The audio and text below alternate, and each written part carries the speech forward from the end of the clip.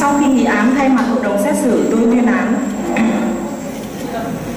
Nhân danh nước Cộng hòa xã hội chủ nghĩa Việt Nam, Tòa án Nhân dân thành phố Hà Nội, thành phần hội đồng xét xử sơ thẩm gồm thẩm phán chủ tọa phiên tòa bà Nguyễn Thị Xuân Thu, thẩm phán ông Lưu Ngọc Cảnh, các hội thẩm nhân dân, ông Tạ Quốc Hùng, ông Quách Văn San, ông Vũ Mạnh Quang, thư ký phiên tòa bà Nguyễn Thị Hạnh, ông Nguyễn Thanh Nhãn, thư ký tòa án Nhân dân thành phố Hà Nội,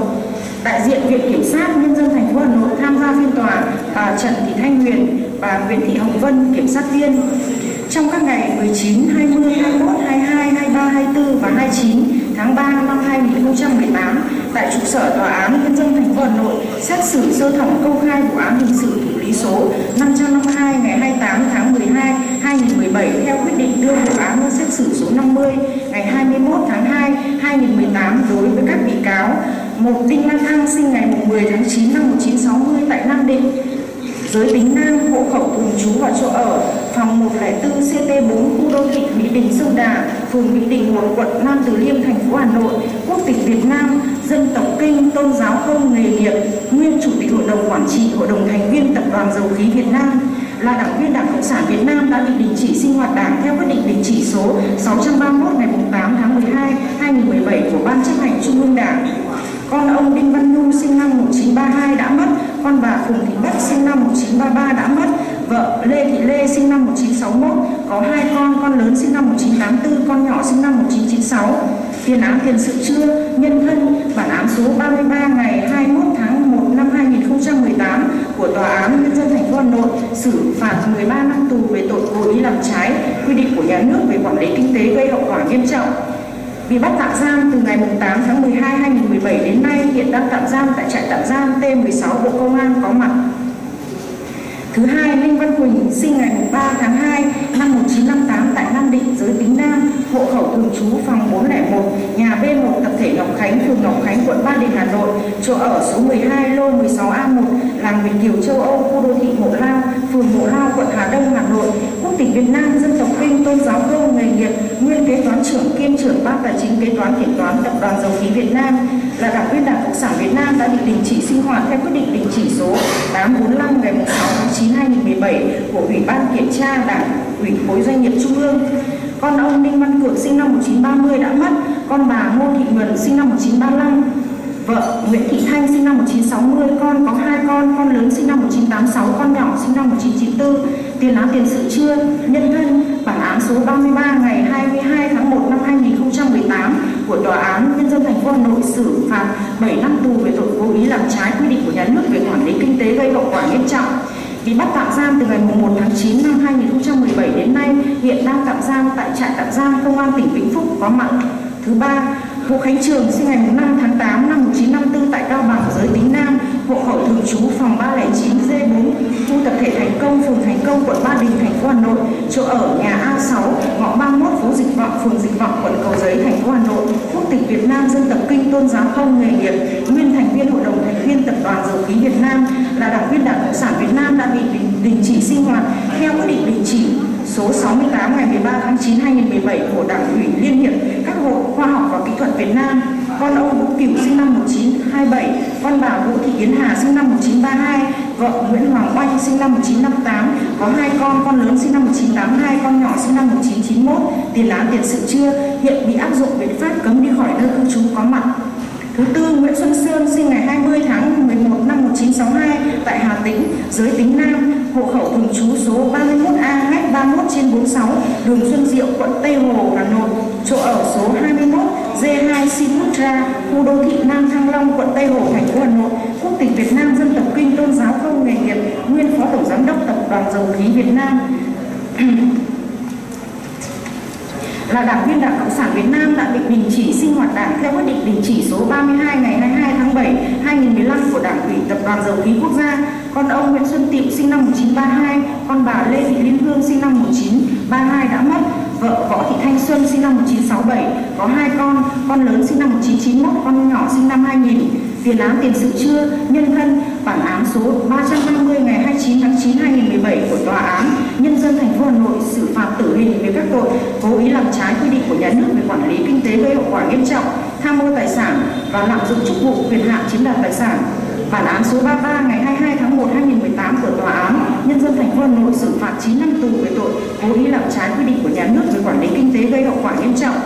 bị bắt tạm giam từ ngày 21 tháng 7 2015 đến nay trong vụ án Hà Văn Thắm và hiện đang tạm giam tại trại tạm giam T16 Bộ Công an có mặt.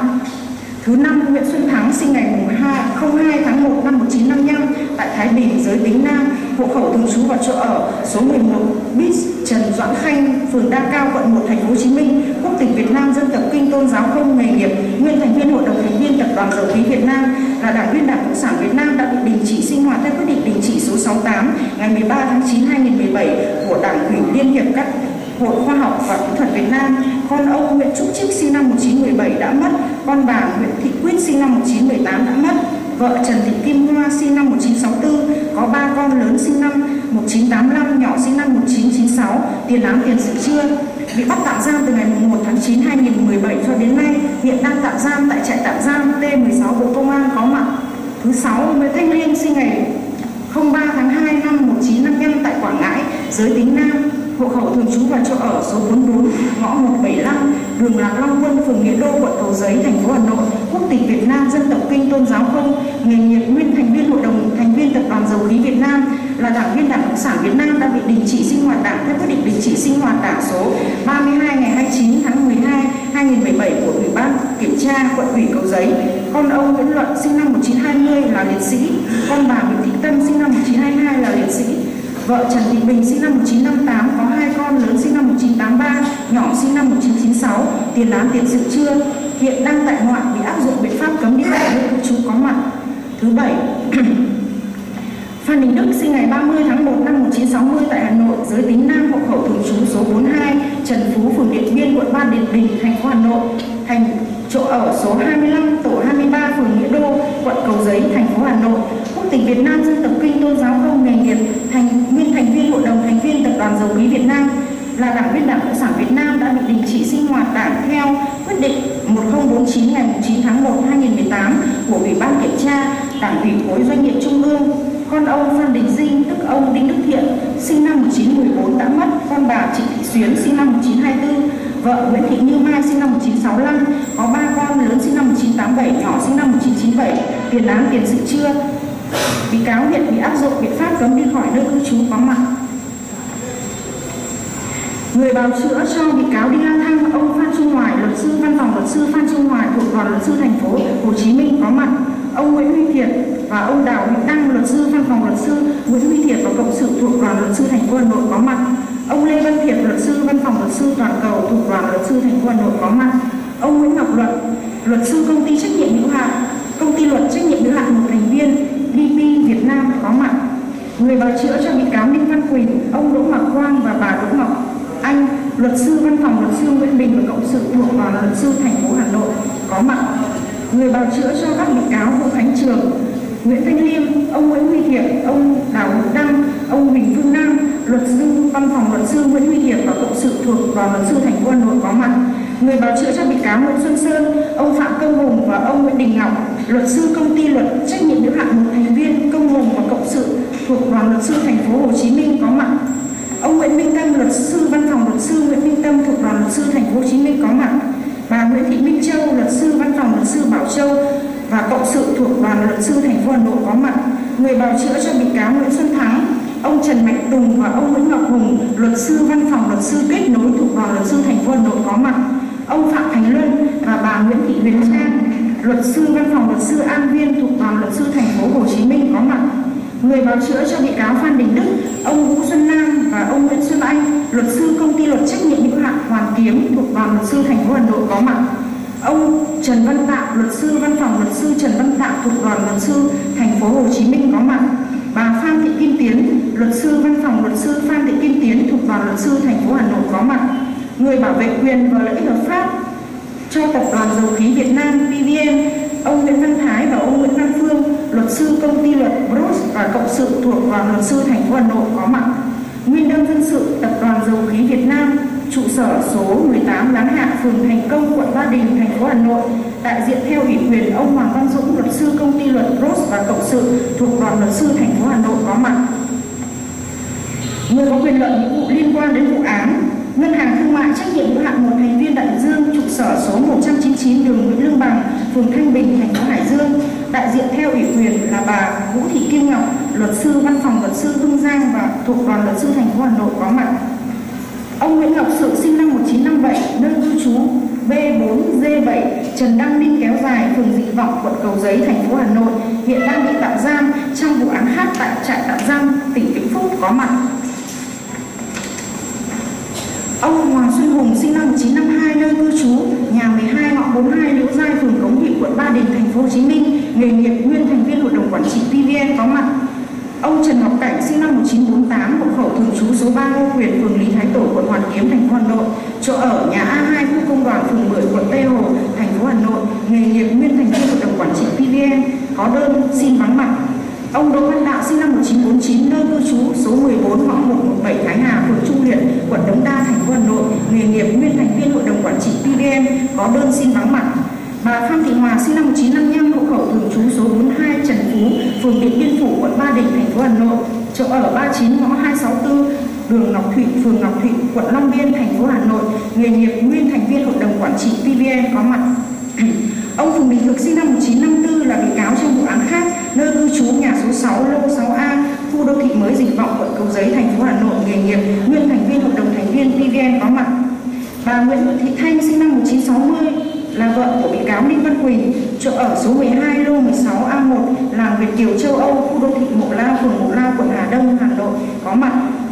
Ông Nguyễn Xuân Sơn sinh năm 1962 là bị cáo trong vụ án. Hộ khẩu thường trú số 31A ngách 31 trên 46 đường Xuân Diệu quận Tây Hồ thành phố Hồ Chí Minh. Chỗ ở 21 D2 Siputra khu đô thị Nam Thăng Long quận Tây Hồ thành phố Hà Nội. Có mặt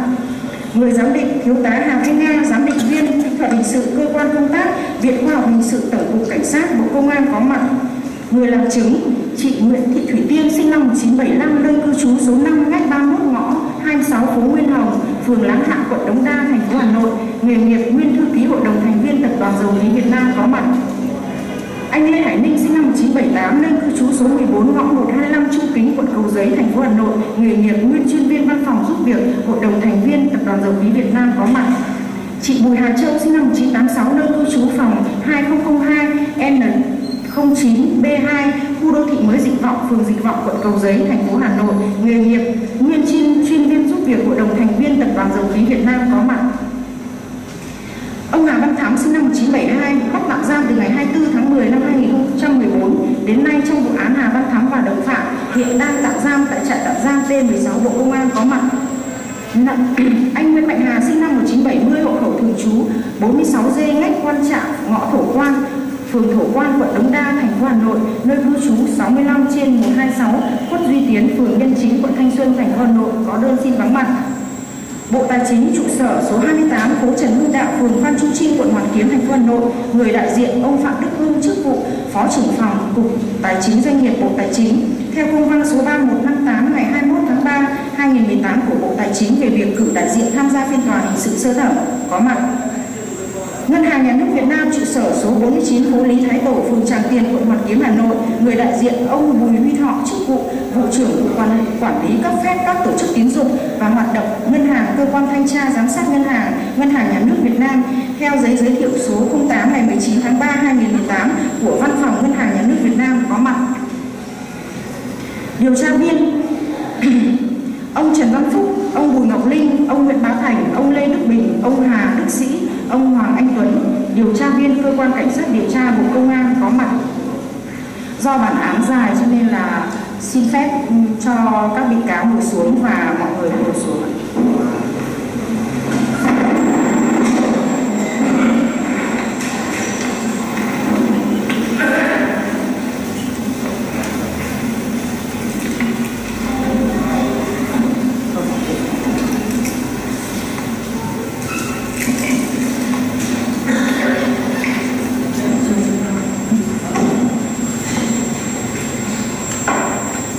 Về nội dung vụ án thì ờ, như trong bản cáo trạng nêu cho nên ờ, tôi không nhắc lại nữa. Tại bản cáo trạng số 13 ngày 27 tháng 12 2017, Viện Kiểm sát nhân tối cao đã truy tố Đi La Thăng, Vũ Khánh Trường, Nguyễn Xuân Sơn, Nguyễn Xuân Thắng, Nguyễn Thanh Liên, Phan Đình Đức về tội cố ý làm trái quy định của nhà nước về quản lý kinh tế gây hậu quả nghiêm trọng theo quy định tại khoản 3 điều 165 Bộ luật hình sự năm 1999. Vâng, Văn Huỳnh về tội cố ý làm trái quy định của nhà nước về quản lý kinh tế gây hậu quả nghiêm trọng theo khoản 3 điều 165 Bộ luật hình sự năm 1999 và tội lạm dụng chức vụ quyền hạn chiếm đoạt tài sản theo điểm A khoản 4 điều 280 Bộ luật hình sự năm 1999. Tại phiên tòa, đại diện Viện Kiểm sát Nhân dân thành phố Hà Nội giữ quyền công tố tại phiên tòa sau khi tóm tắt nội dung vụ án, đánh giá các tài liệu chứng cứ có trong hồ sơ vụ án, lời khai của các bị cáo, nguyên đơn dân sự, người có quyền lợi nghĩa vụ liên quan đến vụ án, người làm chứng đã xác định các bị cáo đã có hành vi như trong bản cáo trạng đã nêu. Do đó, đại diện Viện Kiểm sát Nhân dân thành phố Hà Nội giữ nguyên quan điểm truy tố của Viện Kiểm sát Nhân dân tối cao đối với các bị cáo. Căn cứ vào kết quả thẩm vấn tại phiên tòa sau khi phân tích các tình tiết của vụ án, tính chất mức độ hành vi phạm tội của từng bị cáo, các tình tiết giảm nhẹ trách nhiệm hình sự, vai trò tham gia thực hiện tội phạm, nhân thân các bị cáo, đại diện Viện Kiểm sát Nhân dân thành phố Hà Nội đề nghị hội đồng xét xử một áp dụng khoản 3 điều 165 Bộ luật hình sự năm 1999, điểm V khoản 1 điều 51 và khoản 2 điều 51 Bộ luật hình sự 2015 sửa đổi bổ sung năm 2017 xử phạt bị cáo Đinh La Thăng từ 18 năm tù đến 19 năm tù. 2. Áp dụng khoản 3 điều 165 Bộ luật hình sự năm 1999, điểm A khoản 4, điều 280 Bộ luật hình sự năm 1999, điểm B, điểm S, điểm T, điểm V khoản 1, điều 51 khoản 2, điều 51 và điều 55 Bộ luật hình sự năm 2015 sửa đổi bổ sung năm 2017 xử phạt bị cáo Ninh Văn Quỳnh từ 7 năm tù đến 8 năm tù về tội cố ý làm trái quy định của nhà nước về quản lý kinh tế gây hậu quả nghiêm trọng, từ 17 năm tù đến 18 năm tù về tội lạm dụng chức vụ quyền hạn chiếm đoạt tài sản. Tổng hợp hình phạt buộc bị cáo Quỳnh phải chấp hành hình phạt chung cho hai tội từ 24 năm tù đến 26 năm tù. 3. Áp dụng khoản 3 điều 165 Bộ luật hình sự năm 1999, điểm S, điểm T, điểm V khoản 1 khoản 2 điều 51 Điều 54 Bộ luật hình sự năm 2015 sửa đổi bổ sung năm 2017 xử phạt bị cáo Vũ Khánh Trường từ 7 năm tù đến 8 năm tù. Thứ tư, áp dụng khoản 3 điều 165 Bộ luật hình sự năm 1999, điểm T, V, khoản 1, khoản 2 điều 51 và điều 54 Bộ luật hình sự năm 2015 sửa đổi bổ sung 2017 xử phạt bị cáo Nguyễn Xuân Sơn từ 30 tháng tù đến 36 tháng tù. Áp dụng khoản 3 điều 165 Bộ luật hình sự năm 1999, điểm F điểm T, V khoản 1 khoản 2 điều 51, điều 54 Bộ luật hình sự năm 2015 sửa đổi bổ sung 2017 xử phạt bị cáo Nguyễn Xuân Thắng từ 24 tháng tù đến 30 tháng tù.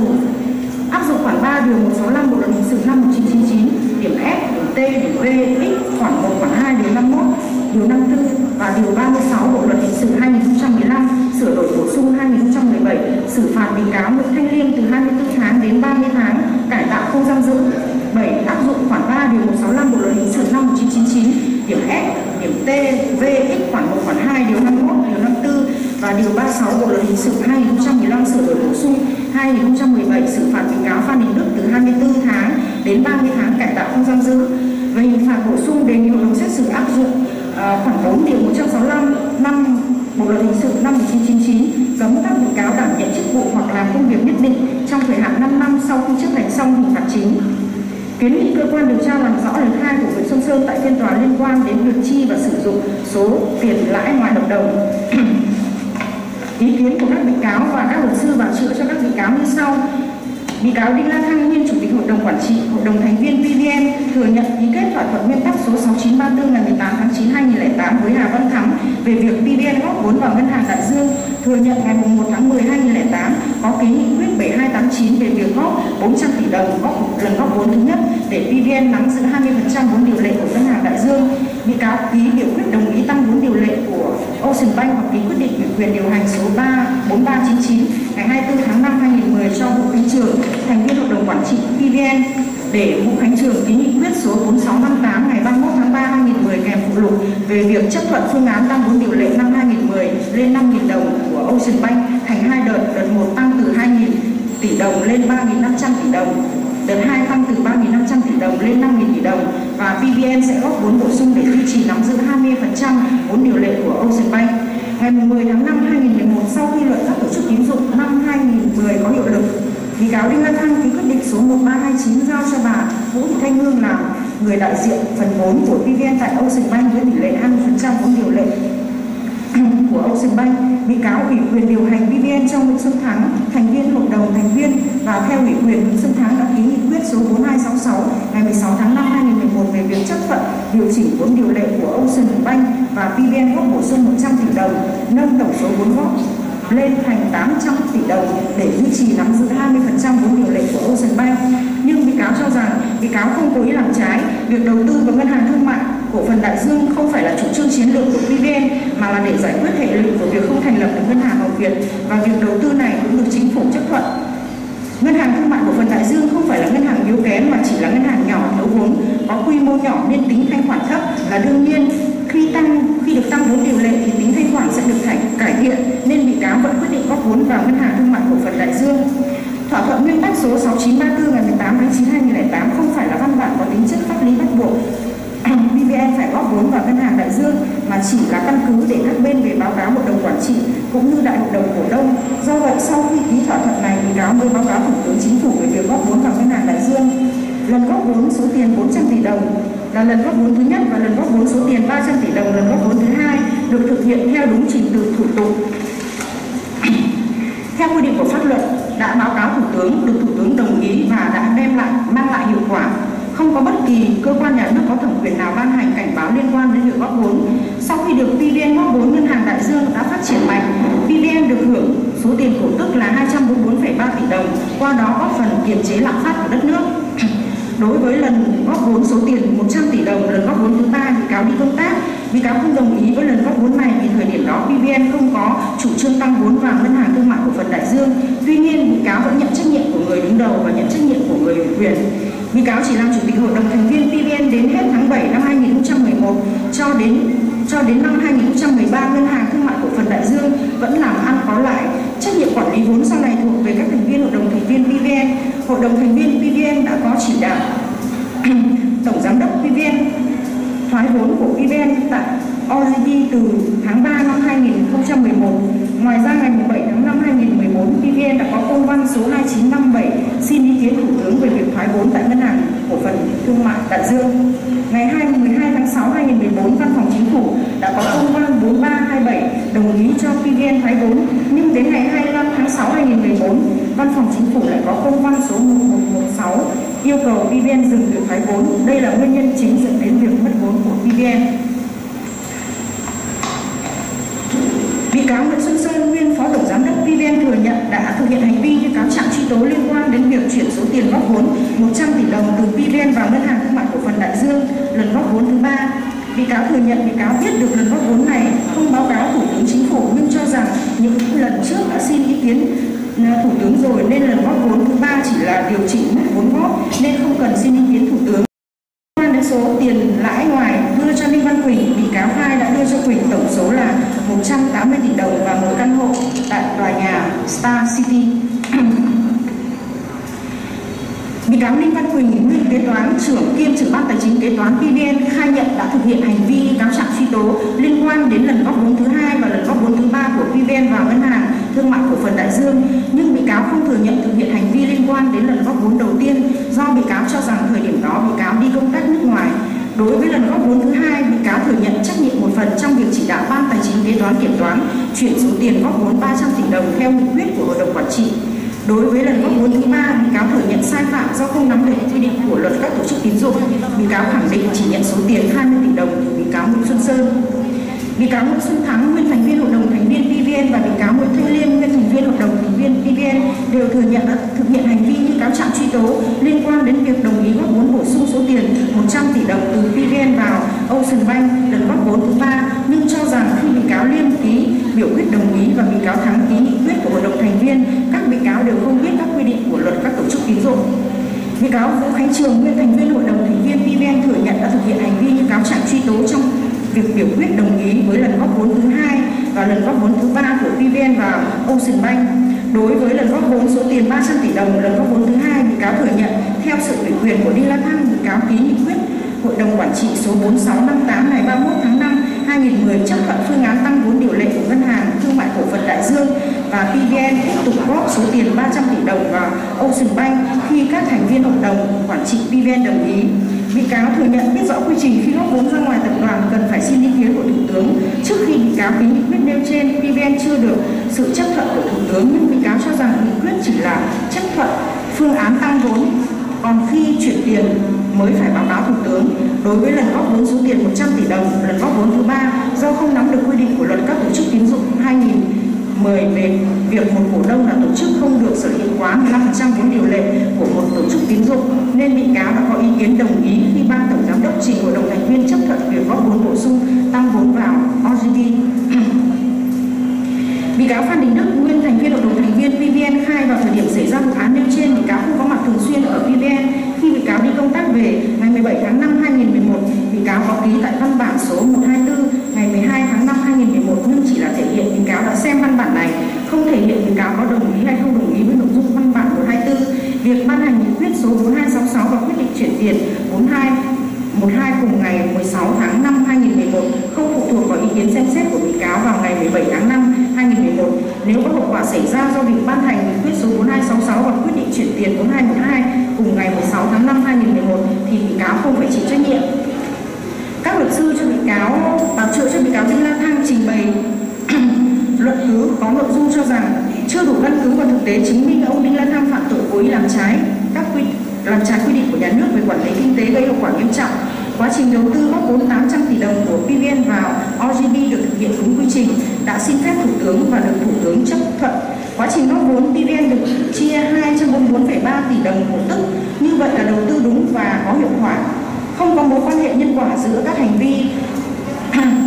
bị coi là cố ý làm trái với hậu quả thiệt hại xảy ra. Vụ án này không có hậu quả thiệt hại do việc mua bắt buộc OGB với giá không đồng của ngân hàng nhà nước là không đúng. Ngoài ra, PVN đã có văn bản xin thoái vốn từ ngày 7 tháng 5 2014. Chính phủ đã có công văn chấp thuận cho PVN thoái vốn tại OGB nhưng sau đó lại dừng việc thoái vốn. Đề nghị tiếp tục làm rõ việc ngân hàng nhà nước mua OGB với giá không đồng có đúng không? Nhà nước có mất 800 tỷ đồng hay không? Hay, bản chất chỉ là chuyển giao người quản lý khoản tiền đó từ PVN sang ngân hàng nhà nước khi vốn điều lệ của ngân hàng thương mại trách nhiệm hữu hạn, một thành viên đại dương vẫn nguyên 4.000 tỷ đồng. Các luật sư bào chữa cho bị cáo Ninh Văn Quỳnh trình bày luận cứ, có nội dung cho rằng bị cáo Ninh Văn Quỳnh chỉ có một phần trách nhiệm với vai trò đồng phạm không tích cực có liên quan đến lần góp vốn thứ ba với số tiền 100 tỷ đồng mua tại, mua cổ phần tại OGB và Quỳnh không phạm tội lạm dụng chức vụ quyền hạn chiếm đoạt tài sản đề nghị chuyển à, tội danh lạm dụng chức vụ quyền hạn chiếm đoạt tài sản về tội chiếm giữ trái phép tài sản cho phù hợp với hành vi của Quỳnh đã thực hiện. Các luật sư bào chữa cho các bị cáo Vũ Khánh Trường, Nguyễn Thanh Liêm trình bày bản luận cứ có nội dung cho rằng Vũ Khánh Trường không có hành vi làm trái khi ký nghị quyết tăng vốn lần 2 góp 300 tỷ đồng. Về lần tham gia tăng vốn lần 3 góp 100 tỷ đồng không có căn cứ kết luận Vũ Khánh Trường có hành vi cố ý. Việc bị cáo Trường ký vào văn bản 124 khi luận các tổ chức tín dụng có hiệu lực, có phần thiếu trách nhiệm do không nghiên cứu pháp luật, không đủ căn cứ kết luận các bị cáo Vũ Khánh Trường, Nguyễn Thanh Liêm phạm tội cối làm trái các quy định về quản, cối làm trái quy định về quản lý kinh tế, gây hậu quả nghiêm trọng. Hành vi của các bị cáo không phải là nguyên nhân dẫn đến việc mất vốn bởi lẽ nếu thủ tướng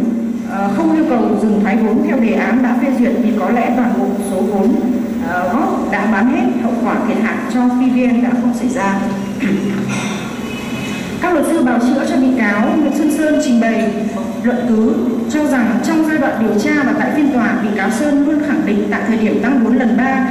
của PVN vào OGB, bị cáo Sơn không cập nhật kịp sự thay đổi của luật các tổ chức tín dụng năm 2010 có hiệu lực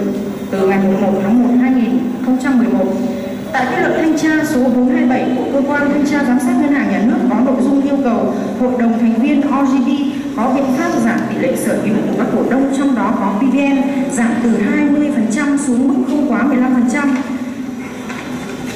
Chậm nhất đến ngày 30 tháng 6 2013, OGB phải thực hiện các việc trên. Bị cáo Sơn nhận thức rằng việc góp vốn của PVN để OGB tăng vốn điều lệ không phù hợp với luật các tổ chức tín dụng mà bị cáo bị truy tố trong vụ án này đã được cơ quan quản lý nhà nước trong lĩnh vực ngân hàng giải quyết theo lộ trình hợp lý hợp pháp Nay các cơ quan tố tụng lại khởi tố, truy tố bị cáo về một hành vi đã được cơ quan hành pháp giải quyết nêu trên là có sự trùng lập. Một hành vi vi phạm bị xử lý hai lần cả về hành chính và hình sự là không phù hợp với quy định pháp luật. Đề nghị không cần thiết phải truy cứu trách nhiệm hình sự bị cáo Sơn về tội cố ý làm trái các quy định về quản lý kinh tế gây hậu quả nghiêm trọng. Và đề nghị tiếp tục làm rõ các khoản tiền bị cáo Sơn đưa cho bị cáo Ninh Văn Quỳnh theo lời khai của bị cáo Sơn và bị cáo Ninh Văn Quỳnh. Các luật sư bào chữa cho bị cáo Nguyễn Xuân Thắng trình bày bản luận cứ có nội dung như sau. Bị cáo Nguyễn Xuân Thắng chỉ là đồng phạm giúp sức có vai trò không đáng kể, có nhiều tình tiết giảm nhẹ theo quy định của bộ luật hình sự.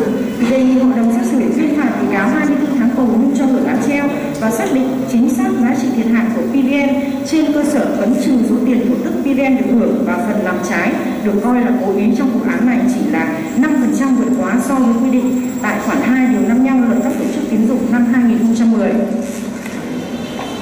Các luật sư bào chữa cho bị cáo Phan Đình Đức trình bày bản luận cứ cho rằng do không chứng minh được thời gian cụ thể, bị cáo Phan Đình Đức ký vào văn bản số 124 nên theo nguyên tắc suy đoán có lợi cho bị can bị cáo thì cần chấp nhận việc Phan Đình Đức ký vào ngày 17 tháng 5 2011 trên văn bản số 124 tức là sau ngày nghị quyết 4266 ban hành, như vậy Phan Đình Đức không có hành vi biểu quyết đồng ý để Xuân Thắng ban hành nghị quyết 4266 ngày 16 tháng 5 2011 nên không phạm tội cố ý làm trái các quy định của nhà nước về quản lý kinh tế gây hậu quả nghiêm trọng.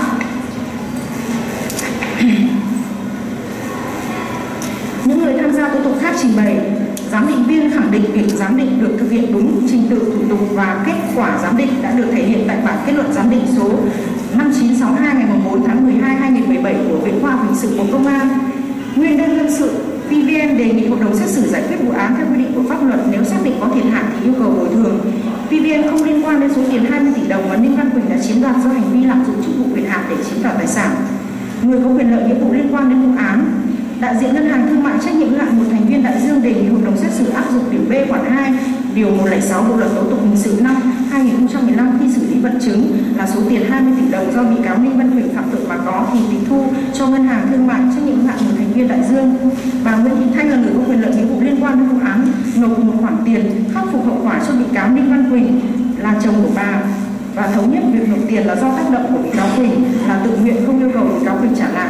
Những người làm chứng Ngân hàng Nhà nước Việt Nam, Bộ Tài chính, chị Nguyễn Thị Thủy Tiên, chị Bùi Hà Châu, anh Lê Hải Ninh, ông Hà Văn Thắng trình bày về cơ bản như đã trình bày và khai báo tại cơ quan điều tra.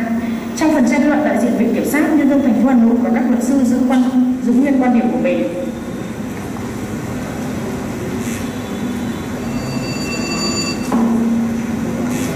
Nhận định của tòa của của tòa án trên cơ sở nội dung vụ án căn cứ vào các tài liệu trong hồ sơ vụ án đã được tranh tụng công khai tại phiên tòa, hội đồng xét xử nhận định như sau. tại phiên tòa về cơ bản các bị cáo đều thừa nhận hành vi phạm tội của mình, một số bị cáo không thừa nhận tội danh như bị kiểm sát nhân dân tối cao truy tố. Tuy nhiên căn cứ lời khai của các bị cáo tại cơ quan điều tra tại phiên tòa lời khai của nguyên đơn dân sự của người làm chứng của người có quyền lợi nghĩa vụ liên quan đến vụ án kết luận giám định tư pháp vật chứng đã thu giữ cùng các tài liệu chứng cứ thu thập trong quá trình điều tra vụ án quá trình tranh luận tại phiên tòa có đủ cơ sở kết luận các bị cáo đã có hành vi phạm tội như sau năm 2008 sau khi không được sau khi không được phép thành lập ngân hàng thương mại cổ phần Hồng tập đoàn dầu khí Việt Nam PVN chuyển sang phương án góp vốn mua cổ phần của ngân hàng thương mại cổ phần Đại Dương. Trong việc góp vốn điều lệ vào ngân hàng thương mại cổ phần Đại Dương giai đoạn 2008 đến 2011, bị cáo Đinh La Thăng, chủ tịch hội đồng quản trị tập đoàn dầu khí Việt Nam đã chỉ đạo quyết định việc PVN góp vốn vào Ocean Bank để PVN trở thành cổ đông của ngân hàng này thực hiện chỉ đạo và chủ trương của Đinh La Thăng các bị cáo Nguyễn Khánh Trường, Nguyễn Xuân Thắng, Nguyễn Thanh Liêm, Phan Đình Đức, nguyên thành viên hội đồng thành viên PVN cùng Nguyễn Xuân Sơn, phó tổng giám đốc, Ninh Văn Quỳnh, kế toán trưởng, kiêm trưởng ban tài chính kế toán kiểm toán PVN đã thực hiện 3 lần góp vốn của PVN vào Ocean Bank với tổng số tiền là 800 tỷ đồng. Do năng lực yếu kém của Ocean Bank và những hành vi vi phạm của Hà Văn Thắm, ngân hàng thương mại cổ phần Đại Dương đã bị thua lỗ nghiêm trọng không còn giá trị vốn của chủ sở hữu, dẫn đến toàn bộ số tiền 800 tỷ đồng góp vốn của PVN tại Ocean Bank đã bị mất hoàn toàn khi ngân hàng nhà nước phải mua bắt buộc ngân hàng thương mại cổ phần Đại Dương để nhà nước phải khắc phục hậu quả thiệt hại nặng nề của Ocean Bank gây ra. Nguyên nhân dẫn đến thiệt hại số tiền 800 tỷ đồng của PVN là do các hành vi trái pháp luật của Đinh La Thăng và các bị cáo đồng phạm gây ra. Ngoài ra trong vụ án trong thời gian từ năm 2009 đến 2013, Ninh Văn Quyền đã lạm dụng chức vụ quyền hạn của mình để chiếm đoạt tiền của nhà nước. Cụ thể hành vi của các bị cáo như sau: một, Đinh La Thăng, nguyên chủ tịch hội đồng quản trị, hội đồng thành viên PVN. Đinh La Thăng với tư cách chủ tịch hội đồng Quản trị Tập đoàn Dầu khí Việt Nam đã ký thỏa thuận 6934 ngày 18 tháng 9 2008 về việc tham gia góp vốn vào ngân hàng cổ phần Đại Dương với Hà Văn Thắm là chủ tịch hội đồng quản trị Âu Ocean Bank nhưng không thông qua hội đồng quản trị PVN quyết định uh, việc góp vốn khi biết rõ năng lực yếu kém của Âu Ocean Bank ký ban hành nghị quyết thực hiện các lần góp vốn bổ sung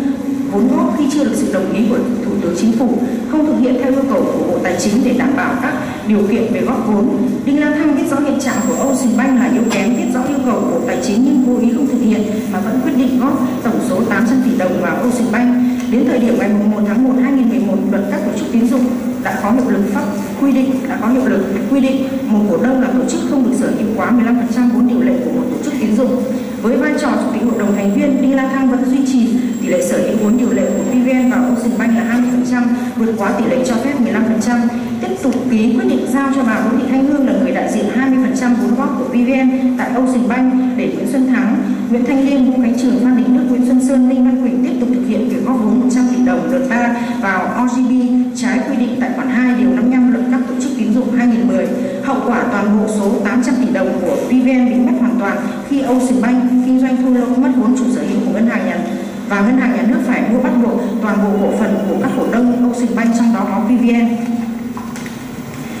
mới làm trái nêu trên của Đinh La Thăng đã vi phạm quy định tại khoản 4 điều 16, khoản 1 điều 20, điều lệ tổ chức và hoạt động của PVN được ban hành kèm theo nghị quyết số 36 ngày 14 tháng 3 2007 của Thủ tướng Chính phủ, khoản 3 điều 27 quy chế quản lý tài chính công ty mẹ tập đoàn dầu khí Việt Nam ban hành kèm theo nghị định số 142 ngày 5 tháng 9 2007 của Chính phủ, khoản 2 điều 55 luật các tổ chức tín dụng 2010 và trái với chỉ đạo của Thủ tướng Chính phủ tại công văn 3780 ngày 6 tháng 6 2008 của Văn phòng Chính phủ, hành vi của bị cáo đã gây hậu quả thiệt hại cho PVN tổng số tiền là 800 tỷ đồng. Tại phiên tòa, bị cáo Đinh La Thăng và các luật sư cho rằng bị cáo không có hành vi cố ý làm trái. Việc đầu tư góp vốn của PVN vào OGV đúng quy định của pháp luật đã xin ý kiến của Thủ tướng Chính phủ và được Thủ tướng Chính phủ đồng ý. Hội đồng xét xử thấy rằng về việc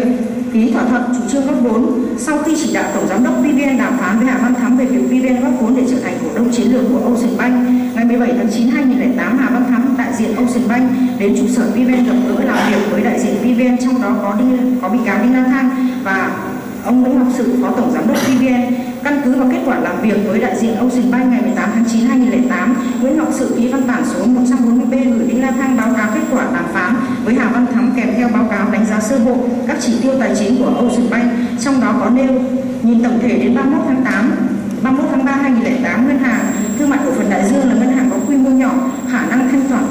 thanh khoản thấp trong bối cảnh kinh tế hiện tại Ocean Bank đứng trước khó khăn trong vấn đề huy động vốn với lãi suất hợp lý để cân đối với nguồn sử dụng nhưng cùng ngày 18 tháng 9 2008 bị cáo Thăng với tư cách là chủ tịch hội đồng quản trị PVN đã tự mình ký quyết định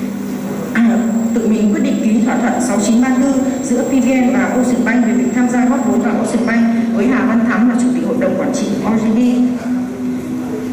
Thỏa thuận có nội dung cơ bản như sau, căn cứ vào nhu cầu về việc tăng vốn điều lệ của OGD và chủ trương chủ trương tham gia góp vốn của PVN, hai bên thỏa thuận PVN thực hiện hoạt động góp vốn.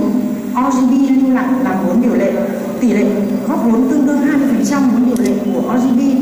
thỏa thuận quy định nghĩa vụ của PVN là thực hiện uh, chuyển tiền góp vốn đúng thời gian theo phương án kế hoạch tăng vốn của OGB và PVN có quyền lợi trở thành cổ đông của OGB. Như vậy, thỏa thuận này có nội dung rằng trách nhiệm và quyền lợi giữa PVN và OGD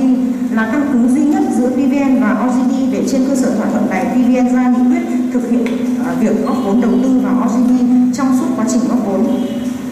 Do đó, có đủ cơ sở xác định thỏa thuận số 6934 ngày 18 tháng 9 2008 giữa PVN và OGD về việc tham gia góp vốn vào OGD là chủ trương làm căn cứ cho việc thực hiện hoạt động góp vốn trong giai đoạn 2008 đến 2011 của PVN và OGD. Nhưng chủ tịch hội đồng quản trị PVN ký kết thỏa thuận này. Không thông qua hội đồng quản trị PVN để thống nhất chủ trương góp vốn của PVN và OGB cũng như đánh giá của hội đồng quản trị về năng lực, hoạt động, khả năng tài chính của Ocean Bank là trái khoản 4 điều 16 nhiệm vụ quyền hạn của hội đồng quản trị, điều lệ tổ chức và hoạt động của PVN được ban hành theo quyết định số 36 ngày 14 tháng 3 năm 2007 của Thủ tướng Chính phủ quy định nhiệm vụ quyền hạn của hội đồng quản trị quyết định các dự án đầu tư góp vốn mua cổ phần của các công ty khác chấm chấm. Trái khoản 1 điều 20 chế độ làm việc của hội đồng quản trị. Điều lệ tổ chức hoạt động của PVN được ban hành kèm theo quyết định số 36 của Thủ tướng Chính phủ quy định, Hội đồng Quản trị làm việc theo chế độ tập thể để xem xét và quyết định những vấn đề thuộc thẩm quyền và trách nhiệm của mình. Trái với khoản 1 điều 5 chế độ làm việc của Hội đồng Quản trị, quy chế làm việc của Hội đồng Quản trị PVN được ban hành theo nghị quyết số 2 007 ngày 13 tháng 4 2007 của PVN quy định các lĩnh vực yêu cầu phải lấy ý kiến tất cả các thành viên chủ trương đầu tư, quyết định đầu tư các dự án thuộc thẩm quyền quyết định của hội đồng quản trị. Về các lần góp vốn, lần 1 góp vốn 400 tỷ đồng theo quyết định 7289 ngày 1 tháng 10 2008. Ngày 30 tháng 9 2008, Đinh La Thăng ký công văn số 7224 báo cáo Thủ tướng Chính phủ đề nghị cho phép PVN góp 20% vốn vào Ocean Bank. Ngày 1 tháng 10 2008, Đinh La ký nghị quyết số 7289 về việc tham gia góp vốn mua cổ phần Ocean Bank tương đương 400 tỷ đồng. Ngày 17 tháng 10 2008, Văn phòng Chính phủ có công văn 6987 có nội dung truyền đạt ý kiến của Thủ tướng đồng ý cho PVN góp vốn mua cổ phần và Ngân hàng Nhà nước Việt Nam, Bộ Tài chính, Ủy ban Chứng khoán Nhà nước, các đơn vị có liên quan tạo điều kiện để Tập đoàn Dầu khí Việt Nam và Ocean Bank sớm hoàn thành thủ tục góp vốn mua cổ phần theo quy định hiện hành. Từ việc ký thỏa thuận góp vốn, Đinh La Thăng không báo cáo Thủ tướng Chính phủ xin chủ trương đến khi ra nghị quyết để thực hiện góp vốn góp 400 tỷ đồng, Đinh La Thăng cũng không chờ ý kiến của Thủ tướng. Trong khi đó, tại khoản 3 điều 7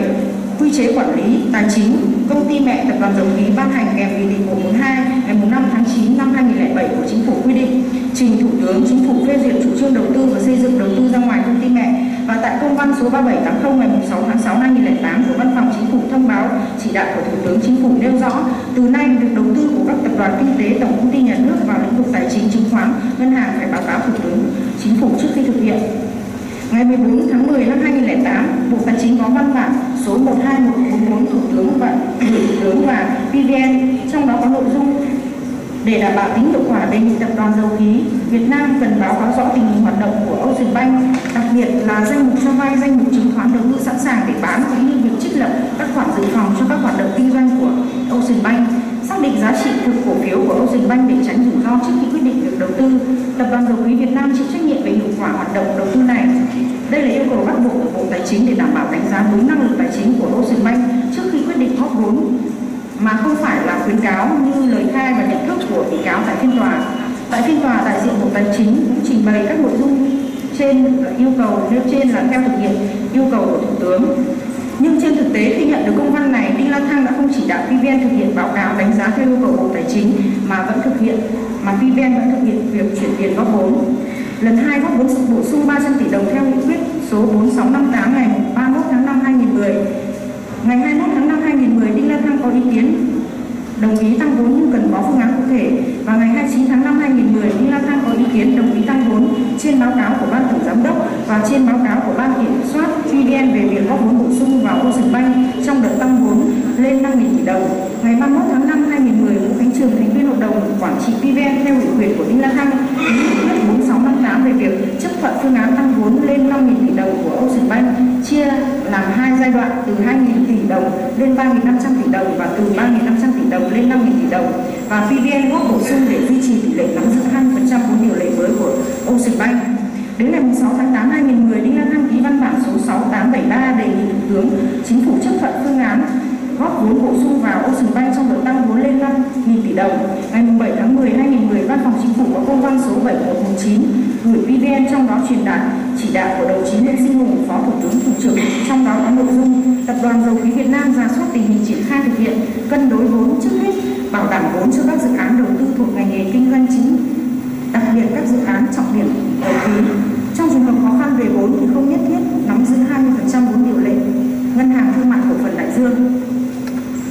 như vậy tại hai phương án tăng vốn như vậy tại phương án tăng vốn lần hai khi chưa được thủ tướng chính phủ phê duyệt Đinh La Thăng đã đồng ý để PVN ra nghị quyết chấp thuận bổ sung tăng vốn góp 300 tỷ đồng trước khi ra nghị quyết không có bất cứ tài liệu nào thể hiện việc Đinh La Thăng chỉ đạo PVN khảo sát đánh giá lại tình trạng hoạt động của Ocean Bank mục đích tăng vốn điều lệ hiệu quả đầu tư lần góp vốn lần đầu từ khi đồng ý phương án tăng vốn đến khi biểu quyết ban hành nghị quyết 4658 ngày 31 tháng 5 2010 để thực hiện, Đinh La Thăng không báo cáo Thủ tướng. Ngoài ra, sau khi nhận được công văn số 7119 ngày 7 tháng 10 2010 của Văn phòng Chính phủ truyền đạt ý kiến của Phó Thủ tướng Thường trực, Đinh La Thăng cũng không chỉ đạo PVN giả soát lại các dự án, danh mục đầu tư nguồn vốn của PVN để báo cáo lại Thủ tướng Chính phủ khi cho chuyển tiền góp vốn vào Ocean Bank. Như vậy, sau khi ra các nghị quyết để thực hiện góp vốn 400 tỷ đồng và 300 tỷ đồng, Đinh La Thăng mới có công văn đề nghị chính phủ chấp thuận các phương án góp vốn lần 1, lần 2 nhưng cần phải nhận thức rằng Thủ tướng Chính phủ đồng ý về mặt nguyên tắc chủ trương góp vốn của doanh nghiệp, còn các doanh nghiệp nói chung trong đó có PVN khi thực hiện đầu tư ra ngoài công ty mẹ đều phải tuân thủ các quy định của pháp luật. Lần 3, góp thêm 100 tỷ đồng theo nghị quyết 4266 ngày 16 tháng 5 2011, nâng tổng số vốn góp của PVN tại Ocean Bank lên 800 tỷ đồng, duy trì tỷ lệ nắm giữ 20% vốn điều lệ Ocean Bank. Ngày 10 tháng 5 2011, Đinh La Thăng ký quyết định về việc ủy quyền điều hành PVN cho Nguyễn Xuân Thắng là thành viên hội đồng thành viên từ ngày 16 tháng 5 đến ngày 8 tháng 5 2011. Trên cơ sở các báo cáo đề xuất của Ninh Văn Quỳnh, kế toán trưởng kiêm trưởng ban tài chính kế toán kiểm toán PVN, Nguyễn Xuân Sơn, phó tổng giám đốc PVN ký báo cáo số 124 ngày 12 tháng 5 2011 gửi các thành viên hội đồng thành viên báo cáo đề xuất xin về việc PVN góp vốn bổ sung 100 tỷ đồng để duy trì tỷ lệ góp vốn 20% vốn điều lệ của Ocean Bank. Sau khi nhận được các báo cáo đề xuất của ban tổng giám đốc, các thành viên hội đồng thành viên gồm Nguyễn Xuân Thắng, Vũ Khánh Trường, Phan Đình Đức đã biểu quyết đồng ý và Nguyễn Xuân Thắng thay mặt hội đồng thành viên PVN theo ủy quyền của Đinh La Thăng ký ban hành nghị quyết 4266 ngày 16 tháng 5 2011 chấp thuận điều chỉnh phương án điều chỉnh vốn điều lệ của Ocean Bank và PVN góp bổ sung 100 tỷ đồng để duy trì tỷ lệ góp vốn 20%. Cùng ngày 16 tháng 5 2011, Nguyễn Xuân Sơn ký quyết định 421 để PVN thực hiện góp 100 tỷ đồng góp vốn vào Ocean Bank. Ngày 17 tháng 5 2011, Ninh Văn Quỳnh ký trình để Nguyễn Xuân Sơn ký duyệt ủy nhiệm chi chuyển số tiền 100 tỷ đồng góp vốn, nâng tổng số vốn góp của PVN tại Ocean Bank là 800 tỷ đồng để duy trì 20% vốn điều lệ của Ocean Bank là trái quy định tại khoản 2 điều 55 luật các tổ chức tín dụng có hiệu lực từ ngày 1 tháng 1 2011 một cổ đông là tổ chức không được sở hữu vượt quá 15% vốn điều lệ của một tổ chức tín dụng. Đến nay, toàn bộ 800 tỷ đồng vốn góp của PVN đã mất do Ocean Bank bị ngân hàng nhà nước mua bắt buộc toàn bộ cổ phần của các cổ đông Ocean Bank trong đó có PVN. Tài liệu điều tra kết quả đối chất tại phiên tòa thể hiện mặc dù Đinh La Thăng không ký nghị quyết 4266 nhưng sau khi đi công tác về thư ký hội đồng thành viên đã gửi bản chính nghị quyết này có chữ viết tay báo cáo anh Thăng 18 tháng 5 mà 2011 và có chữ R để báo cáo Đinh La Thăng. Ngoài ra bị cáo Nguyễn Xuân Thắng, người nhận ủy quyền cũng gặp Đinh La Thăng để báo cáo lại việc ban hành nghị quyết 4266 góp bổ sung vốn 100 tỷ đồng vào Ocean Bank. Mặt khác, theo điều lệ của PVN thì chủ tịch hội đồng thành viên có trách nhiệm giám sát việc thực hiện nghị quyết của hội đồng thành viên nên bị cáo Thăng phải biết nghị quyết số 4266 góp bổ sung vốn 100 tỷ đồng vào Ocean Bank nhưng bị cáo không có chỉ đạo gì Cùng ngày ký ủy quyền cho Nguyễn Xuân Thắng ngày 10 tháng 5 2011, Đinh La Thăng còn ký quyết định số 1329 phân công bà Vũ Thị Thanh Hương làm người đại diện 20% vốn góp của PVN tại Ocean Bank. Việc ký quyết định với nội dung như trên là vi phạm quy định tại khoản 2 điều 55 luật các tổ chức tín dụng năm 2010.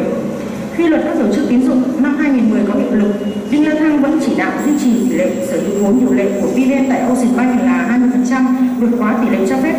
15% là cơ sở để các thành viên hội đồng thành viên quyết định ban hành nghị quyết số 4266 tăng vốn 100 tỷ đồng trái với khoản 2 điều 55 luật các tổ chức tín dụng 2010. Như vậy xuyên suốt từ thỏa thuận chủ trương đến thực hiện 3 lần góp vốn bổ sung góp vốn giai đoạn 2008-2011 của PVN vào Ocean Bank, đến nay PVN đã mất tổng số vốn góp 800 tỷ đồng của PVN khi OGB kinh doanh thua lỗ, mất vốn chủ sở hữu. Đinh La Thăng đã có hành vi trái, làm trái với quy định của điều lệ tổ chức hoạt động của PVN, trái với chỉ đạo của Thủ tướng Chính phủ trong các lần PVN góp vốn vào tại công văn 3780 ngày 6 tháng 6 2008, trái quy định tại khoản 3 điều 7 quy chế quản lý tài chính công ty mẹ ban hành kèm theo quy định của Chính phủ và trái quy định tại khoản 2 điều 55 luật các tổ chức tín dụng 2010. Hành vi này của Đinh La Thăng thực hiện là hành vi cố ý làm trái trong việc PVN góp vốn vào OGB các luật sư bảo chữa cho các bị cáo bị cáo đinh la thang và các bị cáo khác cho rằng không có hậu quả thiệt hại. À, vì hoạt động góp vốn có hiệu quả hàng năm pvn vẫn được chia cổ tức. Hành vi của bị cáo thăng và các bị cáo khác không có mối quan hệ nhân quả với hậu quả xảy ra. Hội đồng xét xử thấy rằng theo kết luận thanh tra ngân hàng thương mại cổ phần đại dương số 427 ngày 27 tháng 12 2012 của cơ quan thanh tra giám sát ngân hàng thuộc ngân hàng nhà nước Việt Nam dựa trên số liệu tài chính trong các năm 2009, 2010, 2011 chốt số liệu đến tháng 3 2012 thì kết quả kinh doanh số liệu thanh tra lỗ lũy kế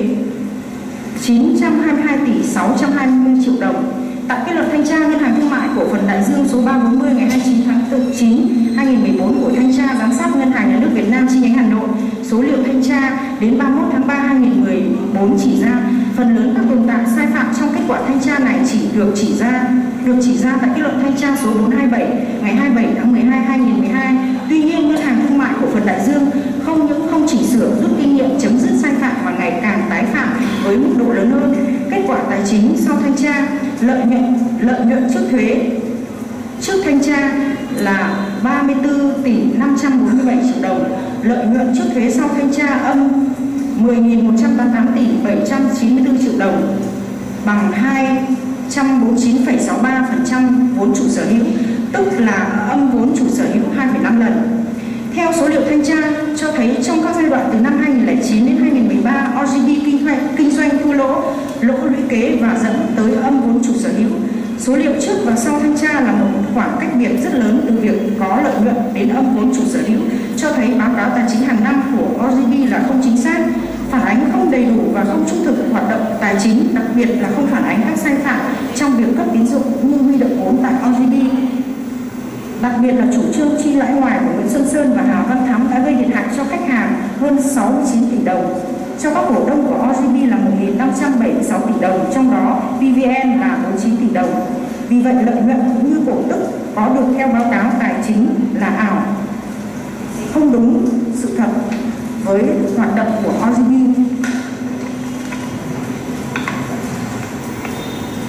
Với các tài liệu chứng cứ nêu trên, kết quả điều tra và tại phiên tòa đủ căn cứ kết luận Đinh La Thăng, Chủ tịch Hội đồng Quản trị VVN đã có hành vi vi phạm thuận 6934 tham gia góp vốn với Hà Văn Thắm nhưng không thông qua Hội đồng Quản trị. VVN quyết định góp vốn khi biết rõ năng lực yếu kém của Ocean Bank, ký ban hành nghị quyết thực hiện các lần góp vốn bổ sung khi chưa được sự đồng ý của chính phủ, không thực hiện theo yêu cầu của Bộ Tài chính để đảm bảo điều kiện về góp vốn. Bị cáo Đinh La Thăng biết rõ hiện trạng của Ocean Bank là yếu kém, biết rõ yêu cầu của Bộ Tài chính nhưng cố ý không thực hiện và vẫn quyết định góp 800 tỷ đồng vào Ocean Bank. Sau khi thực hiện việc góp vốn, bị cáo không chỉ đạo người đại diện phần góp vốn có cơ chế kiểm tra, giám sát riêng cho người đại diện phần góp vốn đối với OGD để đánh giá thực trạng hoạt động tài chính tại OGD mà chỉ căn cứ vào báo cáo tài chính hàng năm của OGD trong thời gian Nguyễn Xuân Sơn làm tổng giám đốc PVN là trái quy định tại uh, điều 38 khoản 5 điều 37 quy chế tài chính quy chế quản lý tài chính công ty mẹ tập đoàn dầu khí ban hành nghị định kèm theo nghị định 142 ngày 5 tháng 9 2007 của chính phủ. Do vậy, PVN đã không phát hiện những sai lầm sai phạm trong hoạt động tín dụng của OGB từ sau khi PVN ký thỏa thuận góp vốn 6934 góp vốn vào OGB. Trong thời gian Nguyễn Xuân Sơn giữ chức vụ tổng giám đốc OGB thì OGB đã xuất hiện một loạt các sai phạm hoạt động cấp tín dụng chủ huy động vốn từ chủ trương chi lãi ngoài của Nguyễn Xuân Sơn đã gây thiệt hại cho khách hàng rất lớn. Trong đó gây thiệt hại cho PVN hơn 47 tỷ đồng trong vụ án Hà Văn Thắm đã xét xử giai đoạn 1. Một loạt các sai phạm trong hoạt động tín dụng trên đã dẫn đến hậu quả mất vốn chủ sở hữu, âm vốn chủ sở hữu và hậu quả, ngân hàng nhà nước đã phải mua bắt buộc toàn bộ số vốn góp của cổ đông OGB trong đó có PVN. Vì vậy, có căn cứ xác định hành vi cố làm trái trong việc góp vốn của PVN và OGB do bị cáo Thăng và các bị cáo trong vụ án thực hiện có hậu quả xảy ra, với hậu quả xảy ra có mối quan hệ nhân quả các luật sư bào chữa cho rằng các bị, các luật sư bào chữa cho các bị cáo còn cho rằng số tiền 800 tỷ góp vốn không bị mất sau khi ngân hàng nhà nước mua lại OGB giá không đồng thì vốn điều lệ của ngân hàng, thương mại trách nhiệm hữu hạn một thành viên đại dương vẫn giữ nguyên 400 tỷ chỉ là sự chuyển giao vốn nhà nước từ PVN sang ngân hàng thương mại trách nhiệm hữu hạn một thành viên đại dương và việc PVN mất 800 tỷ đồng là do ngân hàng nhà nước mua bắt buộc toàn bộ cổ phần các cổ đông ngân hàng thương mại cổ phần đại dương với giá không đồng và cũng do chính phủ yêu cầu PVN dừng thoái vốn. Hội đồng xét xử thấy rằng việc ngân hàng nhà nước mua bắt buộc toàn bộ cổ phần của các cổ đông, ngân hàng thương mại cổ phần đại dương là quan hệ mua bắt buộc giữa ngân hàng nhà nước với các cổ đông của ngân hàng thương mại cổ phần đại dương không phải là quan hệ chuyển giao vốn của nhà nước từ cổ đông, là doanh nghiệp nhà nước như PVN sang ngân hàng thương mại trách nhiệm hữu hạn một thành viên Ocean Bank. Theo quy định của luật doanh nghiệp và luật các tổ chức tín dụng thì vốn điều lệ là vốn cổ đông đã thực góp và được ghi nhận tại điều lệ và đăng ký kinh doanh của doanh nghiệp. Trong quá trình hoạt động, doanh nghiệp có thể có lãi, có thể bị lỗ. Khi có lãi thì làm tăng giá trị thực của vốn điều lệ và các quỹ dự trữ. Ngược lại khi bị lỗ thì làm giảm giá trị thực của vốn điều lệ và các quỹ dự trữ. Trong mọi trường hợp theo quy định của pháp luật, vốn điều lệ vẫn được ghi nhận tại điều lệ và đăng ký kinh doanh của doanh nghiệp theo đúng giá trị các cổ đông đã góp trước đây. Trong trường hợp này, mặc dù vốn điều lệ của ngân hàng thương mại trách nhiệm hữu hạn một thành viên Ocean Bank ghi 4.000 tỷ đồng, nhưng giá trị thực của vốn điều lệ này là số âm rất lớn. Theo kiến nghị tại bản án. Hình sự sơ thẩm số 330 ngày 29 tháng 9 2017 của Tòa án Nhân dân thành phố Hà Nội về việc, việc mua bắt buộc cổ phần của tổ chức tín dụng với giá không đồng. Như sau kiến nghị chính phủ xem xét đánh giá lại cơ chế chính sách mua cổ phần của các tổ chức tín dụng với số tiền không đồng đã thực hiện với một số tổ chức tín dụng trong đó có OGD cho phù hợp các quy định của pháp luật hiện hành. Điều đó không có nghĩa là trùng với quan điểm của vị luật sư, cho rằng tài sản của OCB vẫn còn và việc mua không đồng là sai, mà ở đây việc kiến nghị này là căn cứ khoản 12 điều 4 của luật ngân hàng nhà nước Việt Nam khoản 2 điều 149 của luật tổ chức, luật các tổ chức tín dụng, khẳng định khi ngân hàng có xu hướng lỗ, mất khả năng thanh toán, không có khả năng hoặc không thực hiện được việc tăng vốn thì ngân hàng phải mua bắt buộc. 2014, Thanh tra Giám sát Ngân hàng Nhà nước đã thanh tra giám sát toàn bộ tài sản và nguồn vốn của Ngân hàng Thương mại Cổ phần Đại Dương, trong đó có phần vốn góp của PVN và đã kết luận thực trạng hoạt động tín dụng và thực trạng tài chính của OGD đến thời điểm 31 tháng 3 2014 các khoản nợ xấu của OGB là 14.923 tỷ 135 triệu đồng chiếm 49,84% tổng dư nợ toàn hệ thống. Lợi nhuận lợi nhuận trước thuế lỗ 10.188 tỷ 794 triệu đồng bằng 249,63 vốn chủ sở hữu tức âm vốn chủ sở hữu gần 2,5 lần. Nợ xấu và thất thoát vốn thua lỗ lũy kế hàng năm mất khả năng thanh toán Ngày 7 tháng 5 2014, PBN có công văn số 2957 xin ý kiến Thủ tướng Chính phủ về việc thoái vốn tại ngân hàng Đại Dương, ngân hàng thương mại cổ phần Đại Dương và ngày 12 tháng 6 2014, Văn phòng Chính phủ đã có công văn 327 đồng ý cho PVN thoái vốn, nhưng đến ngày 25 tháng 6 2014, Văn phòng Chính phủ lại có công văn 116 yêu cầu PVN dừng việc thoái vốn. Giả sử chính phủ cho PVN thoái vốn thì OGB cũng không có khả năng thanh toán khi đến thời điểm 31 tháng 3 2012, OGB đã thua lỗ đứng kế hàng năm, mất khả năng thanh khoản và đến thời điểm 31 tháng 3 2014 đã âm vốn chủ sở hữu 2,5 lần. Và giả sử nếu có cho thoái vốn thì cũng chỉ là chuyển thiệt hại từ PVN sang doanh nghiệp khác mà thôi.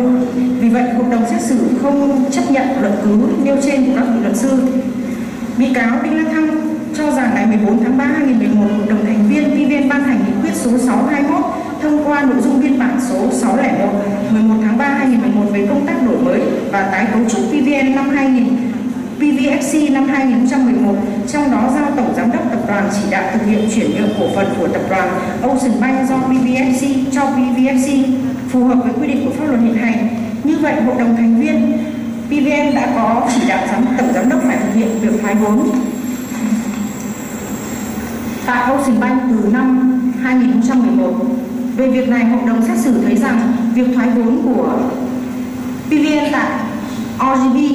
phải được Thủ tướng Chính phủ cho phép, phải có lộ trình và được thực hiện đúng quy định, đúng đúng quy trình, đúng quy định của pháp luật. Nghị quyết số 62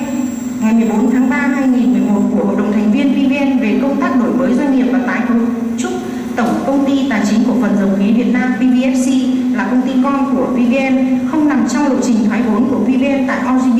do đó không có cơ sở chấp nhận lời khai này của bị cáo Đinh La Thăng. Ngoài ra tại phiên tòa, bị cáo Đinh La Thăng và các luật sư bào chữa còn nêu ra là có hai doanh nghiệp, có một doanh nghiệp nước ngoài, một doanh nghiệp trong nước chào mua cổ phần của PVN tại OGB nhưng bị cáo Thăng và luật sư không có tài liệu chứng cứ chứng minh cho việc này. Từ những phân tích ở trên có cơ sở khẳng định bị cáo Đinh La Thăng có vai trò chính trong việc thực hiện hành vi làm trái gây hậu quả mất vốn 800 tỷ đồng của PVN. Căn cứ quy định của pháp luật thì việc truy tố của Viện Kiểm sát Nhân dân tối cao về tội danh cố ý làm trái quy định của nhà nước về quản lý kinh tế gây hậu quả nghiêm trọng quy định tại điều 165 Bộ luật hình sự năm 1999 đối với bị cáo Đinh La Thăng là hoàn toàn có căn cứ đúng người, đúng tội, đúng pháp luật.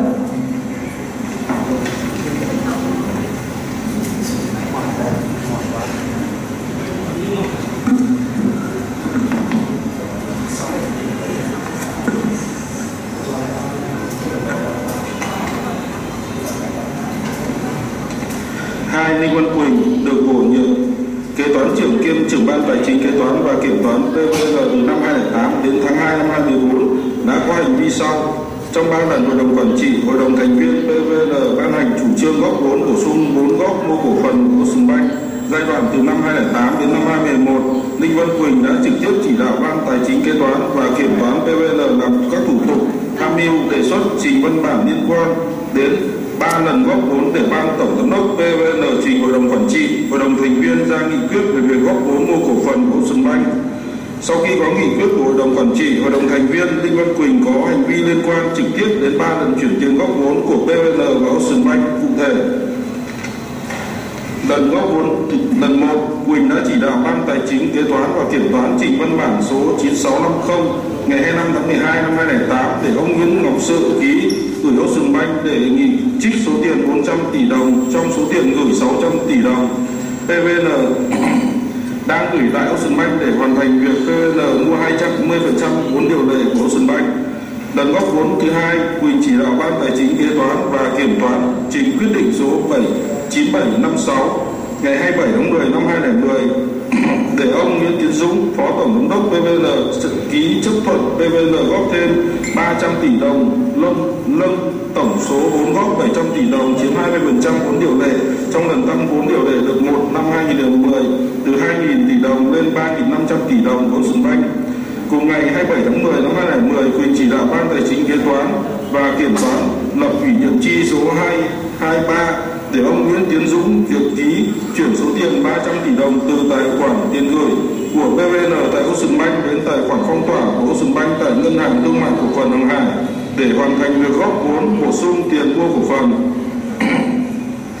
Lần góp vốn thứ ba, Ninh Văn Quỳnh trình văn bản nội bộ số 124 ngày 12 tháng 5 năm 2011 và ký nháy để Nguyễn Xuân Sơn gửi hội đồng thành viên đề nghị xem xét chấp thuận tiếp tục hỗ trợ Ocean Bank tăng vốn điều lệ ở mức tối đa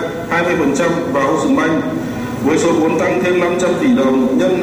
20% bằng 100 tỷ đồng. Trước ngày 15 tháng 5 năm 2011, ngày 16 tháng 5 năm 2011, Ninh Văn Quỳnh tiếp tục ký văn bản số 68, 638 gửi Nguyễn Xuân Sơn báo cáo về Ocean Bank tăng vốn điều lệ lên 4.000 tỷ đồng nằm trong khung được phép tăng 5.000 tỷ đồng và ký nháy vào văn bản nội bộ số 131 báo cáo đề xuất xin ý kiến chấp thuận phương án điều chỉnh tăng vốn điều lệ của Ocean Bank và PVN góp vốn bổ sung 100 tỷ đồng để duy trì tỷ lệ 20%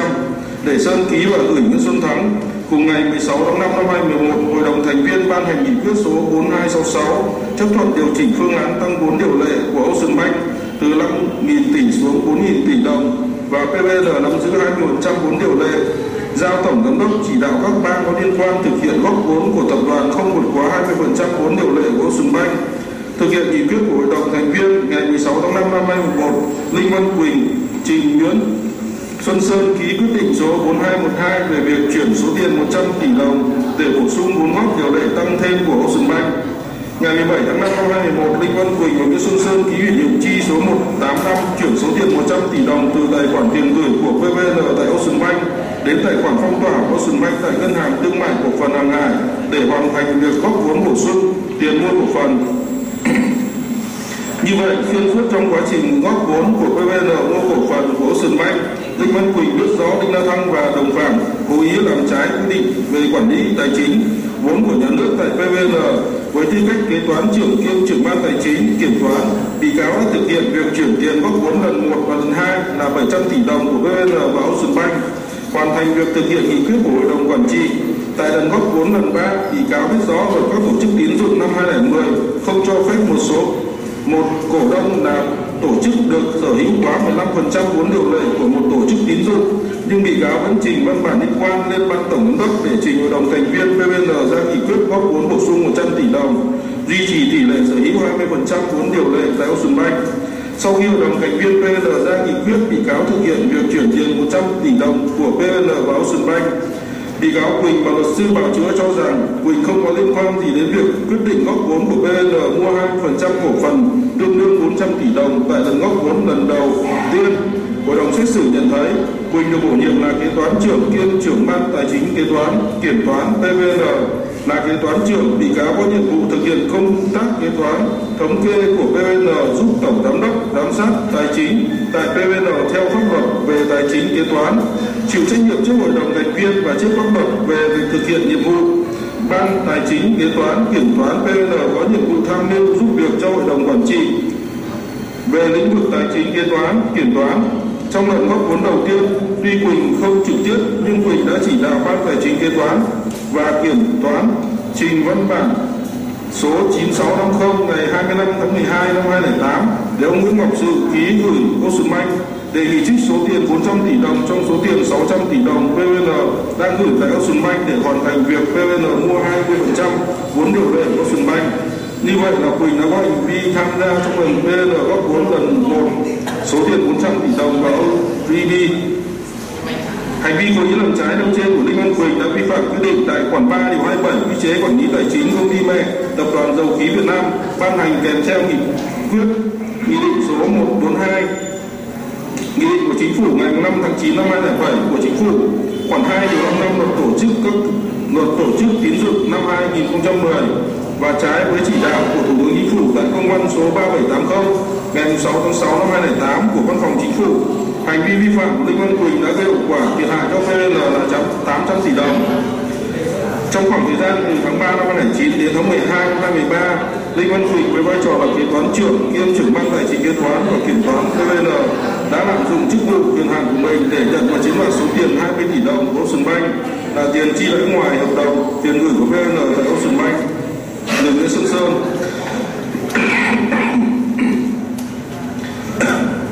Quỳnh biết rõ Sơn dùng tiền của Ocean Bank cho Quỳnh kế toán trưởng, kiêm trưởng ban tài chính kế toán và kiểm toán PVN để Quỳnh có những quan tâm giúp đỡ, tham mưu đề xuất với lãnh đạo PVN ban hành chủ trương, chỉ đạo có lợi cho Ocean Bank như việc yêu cầu các đơn vị thành viên sử dụng dịch vụ ngân hàng, gửi tiền tại Ocean Bank hành vi này của Đinh Văn Quỳnh đã phạm vào tội lạm dụng chức vụ quyền hạn để chiếm đoạt tài sản luật sư bảo chữa cho bị cáo Lê Văn Quỳnh đề nghị chuyển tội danh lạm dụng chức vụ quyền hạn chiếm đoạt tài sản về tội chiếm giữ trái phép tài sản cho phù hợp với hành vi của Quỳnh đã thực hiện hội đồng xét xử nhận thấy Đinh Văn Quỳnh đã lạm dụng chức vụ quyền hạn của mình là kế toán trưởng, kiêm trưởng ban tài chính kế toán và kiểm toán PVN và sự tín nhiệm của chủ tài sản đối với mình để chiếm đoạt tài sản của chủ tài sản là OGB. Hành vi này của Quỳnh đủ yếu tố cấu thành tội lạm dụng chức vụ quyền hạn chiếm đoạt tài sản theo quy định tại điều 280 của luật hình sự nên không có cơ sở chấp nhận luận cứ của các luật sư. Ba Vũ Khánh Trường từ tháng 4 năm 2009 đến tháng 9 năm 2015 Vũ Khánh Trường được Thủ tướng bổ nhiệm là thành viên hội đồng quản trị, sau đổi là thành viên hội đồng thành viên. Vũ Khánh Trường đã có các hành vi sau. Trong ba lần hội đồng quản trị, hội đồng thành viên PVN ban hành chủ trương góp vốn bổ sung vốn góp mua cổ phần của Sừng Banh giai đoạn từ năm 2008 đến năm 2011. Trên cương vị thành viên hội đồng quản trị, hội đồng thành viên, Vũ Khánh Trường trực tiếp tham gia biểu quyết hai lần, đợt 2 năm 2010 và đợt 3 năm 2011, trực tiếp ký nghị quyết số 4658 kèm phụ lục về việc chấp thuận phương án tăng vốn điều lệ năm 2010 lên 5.000 tỷ đồng của Ocean Bank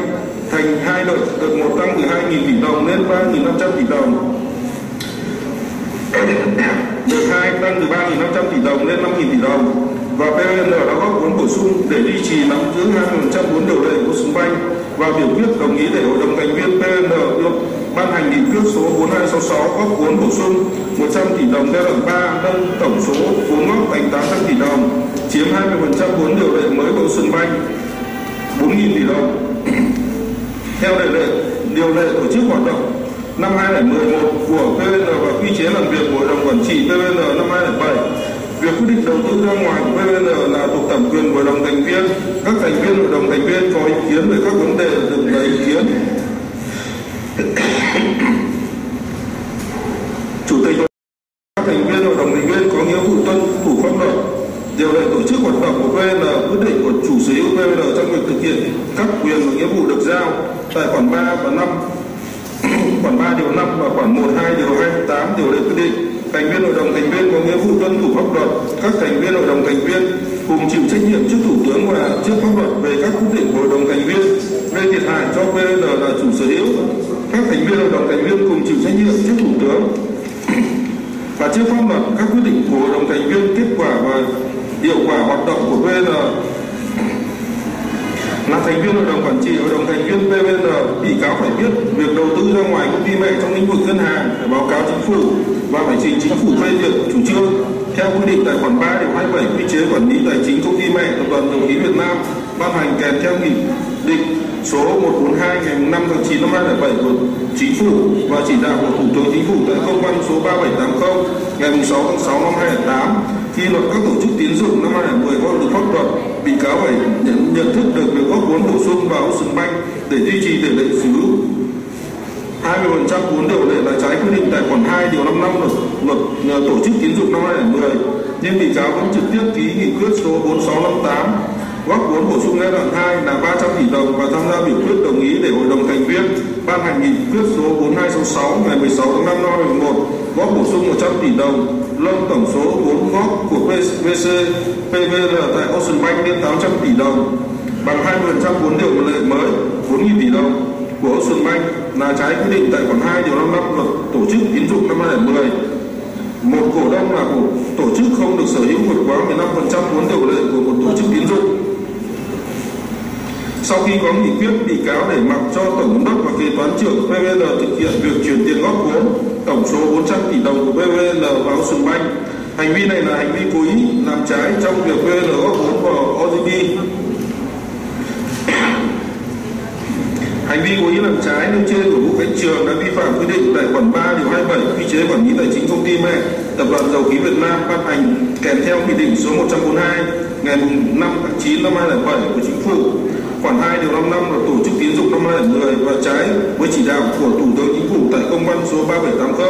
ngày 6 tháng 6 năm 2008 của Văn phòng Chính phủ. Hành vi của bị cáo đã gây hậu quả thiệt hại cho PVN tổng số tiền là 400 tỷ đồng. Bố Nguyễn Xuân Sơn được bổ nhiệm giữ chức vụ Phó Tổng giám đốc PVN từ tháng 1 năm 2011 đến tháng 7 năm 2014 đã có các hành vi sau thực hiện theo chức năng nhiệm vụ của phó tổng giám đốc PVN phụ trách tài chính kế toán, trên cơ sở báo cáo các báo cáo đề xuất của ông Đinh Văn Quỳnh kế toán trưởng kiêm trưởng ban tài chính kế toán PVN Nguyễn Xuân Sơn, ký các văn bản nội bộ số 124 ngày 12 tháng 5 năm 2011 và số 131 ngày 16 tháng 5 năm 2011 gửi các thành viên hội đồng thành viên PVN báo cáo, đề xuất xin ý kiến chấp thuận phương án điều chỉnh tăng vốn điều lệ của Ocean Bank và PVN góp vốn bổ sung 100 tỷ đồng duy trì tỷ lệ 20%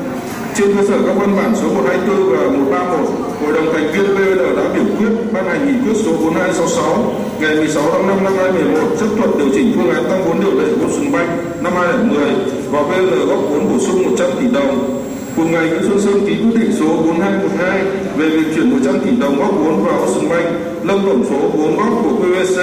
PVN tại Ocean Bank là 800 tỷ đồng để duy trì tỷ lệ 20% vốn điều lệ mới Ocean Bank 4.000 tỷ đồng. Ngày 17 tháng 5 năm 2011, Nguyễn Xuân Sơn và Đinh Văn Quỳnh ký ủy nhiệm chi số 185 chuyển số tiền 100 tỷ đồng từ tài khoản tiền gửi của PVR tại Ocean Bank đến tài khoản phong tỏa của Ocean Bank tại ngân hàng thương mại cổ phần Hàng Hải để hoàn thành việc góp bổ sung tiền mua cổ phần.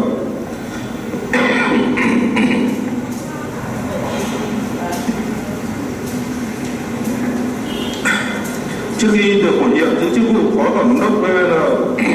Nguyễn Xuân Sơn được bổ nhiệm giữ chức vụ là Tổng giám đốc Ngân hàng Thương mại cổ phần đại dương từ ngày 12 tháng 19 tháng 12 năm 2008 đến ngày 15 tháng 11 năm 2010 nên Sơn biết rõ năng lực, kinh doanh và tình trạng thua lỗ, yếu kém của Ocean Bank mà vẫn đề xuất BVN góp vốn vào Ocean Bank. Sơn cũng biết việc đầu tư ra ngoài công ty mẹ trong lĩnh vực ngân hàng phải báo cáo chính phủ và phải trình chính phủ phê duyệt chủ trương và cũng biết rõ luật tổ chức tín dụng năm 2010 không cho phép một số cổ đông là tổ chức không được sở hữu quá 15% vốn điều lệ của một tổ chức tín dụng, mà vẫn ký văn bản đề xuất lên hội đồng thành viên ra nghị quyết góp vốn bổ sung duy trì tỷ lệ 20% vốn điều lệ tại OGB và ký quyết định thực hiện việc chuyển tiền 100 tỷ đồng vượt quá tỷ lệ sở hữu 15% vốn điều lệ của Sùng Banh. Hành vi cố ý làm trái nêu trên của Nguyễn Xuân Sơn đã vi phạm quy định tại khoản 3 điều 27 quy chế quản lý tài chính công ty mẹ, tập đoàn dầu khí Việt Nam ban hành kèm theo nghị định số 142 ngày 5 tháng 9 năm 2007 của Chính phủ, khoản 2 điều 55 luật tổ chức tín dụng năm 2010 và trái với chỉ đạo của Thủ tướng Chính phủ tại công văn số 3780 ngày 6 tháng 6 năm 2008 của Văn phòng Chính phủ. Hành vi vi phạm nêu trên của Nguyễn Xuân Sơn đã gây thiệt hại cho PVN là 100 tỷ đồng. Luật sư bảo chữa cho bị cáo Sơn cho rằng tại bản kết luận thanh tra số 427 ngày 27 tháng 12 năm 2012 của cơ quan thanh tra giám sát ngân hàng nhà nước có nội dung quan trọng việc yêu cầu hội đồng quản trị ORB có biện pháp giảm tỷ lệ sở hữu cổ phần của cổ đông, trong đó có PVN từ 20% vốn điều lệ xuống mức không quá 15% vốn điều lệ của OGB chậm nhất đến ngày 30 tháng 6 năm 2013. ORB phải thực hiện do vậy, các cơ quan tiến hành tố tụng, lại khởi tố, truy tố các bị cáo, trong đó có bị cáo Sơn là có sự trùng lập Hội đồng xét xử thấy rằng việc PVN thoái vốn tại ORB đã có văn bản số 1116 ngày 25 tháng 6 năm 2014 của chính phủ yêu cầu dừng PVC dừng việc thoái vốn. PVL dừng việc thoái vốn, lý do thực trạng, hoạt động tín dụng và thực trạng tài chính của ODB đến thời điểm 31 tháng 3 năm 2014 các khoản nợ xấu của ODB là 14.923 tỷ 135 triệu đồng chiếm 49,84% tổng dư nợ toàn hệ thống. Lợi nhuận trước thuế lỗ là 10.188 tỷ 794 triệu đồng bằng 249,63% vốn sở hữu tức âm vốn chủ sở hữu gần 2,5 lần. Nợ xấu và thất thoát vốn thua lỗ lũy kế hàng năm bất khả năng thanh khoản nên yêu cầu của ngân hàng nhà nước đối với OGB tại kết luận thanh tra số 427 không thực hiện được. Do đó, các cơ quan tố tụng khởi tố, truy tố bị cáo sơn là không có sự trùng lập như ý kiến của các luật sư. Năm, nguyễn xuân thắng, được thủ tướng chính phủ bổ nhiệm là thành viên hội đồng thành viên tập đoàn dầu khí việt nam. Từ tháng 1 năm 2011 đến tháng 2 năm 2015 đã có hành vi trong ba lần hội đồng quản trị, hội đồng thành viên ban hành nghị quyết chấp thuận vốn góp vào Ocean Bank Nguyễn Xuân Thắng đã có hành vi ký ban hành nghị quyết 4266 phê duyệt chủ trương PVN góp vốn bổ sung 100 tỷ đồng lần 3 nâng tổng số vốn góp của PVN lên 800 tỷ đồng, duy trì tỷ lệ 20% vốn điều lệ của Ocean Bank thực hiện nghị quyết số 4266 do đăng ký, ngày 17 tháng 5 năm 2011 ban tài chính kế toán và kiểm toán thực hiện. Theo chức năng nhiệm vụ đã trình ban tổng giám đốc, thủ tục để chuyển số tiền 100 tỷ đồng bổ sung vốn góp mà không phải báo cáo hội đồng thành viên sau đợt chuyển tiền này, tổng số vốn góp của PVN tại Ocean Bank tăng lên 800 tỷ đồng, bằng 20% vốn điều lệ, trên 4.000 tỷ đồng của Ocean Bank. Theo điều lệ năm 2011 của PVN và quy chế làm việc hội đồng quản trị PVN năm 2007 việc quyết định đầu tư ra ngoài của PVN là thẩm quyền của hội đồng thành viên. Các thành viên hội đồng thành viên có ý kiến về các vấn đề được lấy ý kiến. Chủ tịch hội đồng thành viên và các thành viên hội đồng thành viên có nghĩa vụ tuân thủ pháp luật điều lệ tổ chức hoạt động của PVN quyết định của chủ sở hữu PVN trong việc thực hiện các quyền và nghĩa vụ được giao. Tại khoản 3 điều 5 và khoản 1, 2 điều 28 điều lệ quy định thành viên hội đồng thành viên có nghĩa vụ tuân thủ pháp luật. Các thành viên hội đồng thành viên cùng chịu trách nhiệm trước thủ tướng và pháp luật về các quyết định của hội đồng thành viên gây thiệt hại cho PVN và chủ sở hữu. Các thành viên của hội đồng thành viên cùng chịu trách nhiệm trước thủ tướng trước pháp luật về các quyết định của hội đồng thành viên. Kết quả và hiệu quả hoạt động của VN là thành viên hội đồng thành viên phải biết việc đầu tư ra ngoài công ty mẹ trong lĩnh vực ngân hàng, phải báo cáo chính phủ và phải trình chính phủ phê duyệt chủ trương theo quy định tại khoản 3 điều 27 quy chế quản lý tài chính công ty mẹ tập đoàn dầu khí Việt Nam, ban hành kèm theo nghị định số 142 ngày 5 tháng 9 năm 2007 của chính phủ và chỉ đạo của thủ tướng chính phủ tại công văn số 3780 ngày 6 tháng 6 năm 2008 khi luật các tổ chức tín dụng, năm 2010 có được pháp luật bị cáo phải nhận thức được việc góp vốn bổ sung vào Ocean Bank để duy trì tỷ lệ sở hữu 20% vốn điều lệ là trái quy định tại khoản 2 điều 55 luật tổ chức tín dụng năm 2010 nhưng bị cáo cũng tham gia biểu quyết, đồng ý trực tiếp ký nghị quyết số 4266 ngày 16 tháng 5 năm 2011 để ban hành chủ trương góp vốn bổ sung 100 tỷ đồng, nâng tổng số vốn góp của PVN tại Ocean Bank lên 800 tỷ đồng bằng 20% vốn điều lệ mới của Ocean Bank trái quy định tại khoản 2 điều 55 luật tổ chức tín dụng năm 2010 một cổ đông là tổ chức không được sở hữu vượt quá 15% vốn điều lệ của một tổ chức tín dụng. Sau khi có nghị quyết, bị cáo để mặc cho tổng giám đốc và kế toán trưởng PVN thực hiện việc chuyển tiền góp vốn 100 tỷ đồng của VN vào Ocean Bank. Hành vi này là hành vi cố ý làm trái trong việc VN góp vốn vào OGB. Hành vi cố ý làm trái nêu trên của Nguyễn Xuân Thắng đã vi phạm quy định tại khoản 3 điều 27 quy chế quản lý tài chính công ty mẹ tập đoàn dầu khí Việt Nam ban hành kèm theo nghị định số 142 ngày 5 tháng 9 năm 2007 của chính phủ, khoản 2 điều 55 của các tổ chức tín dụng năm 2010 và trái chỉ đạo của thủ tướng chính phủ tại công văn 3780 ngày 6 6 năm 2008 của văn phòng chính phủ, hành vi vi phạm Nguyễn Xuân Thắng đã gây thiệt hại cho PVN là 100 tỷ đồng.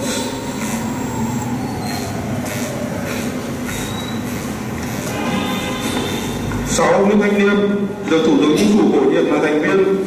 Hội đồng thành viên Tập đoàn Dầu khí Việt Nam từ tháng 11 năm 2010 đến tháng 3 năm 2015 đã có hành vi sau trong 3 lần VN góp vốn vào Ocean Bank tại giai đoạn 2008 2011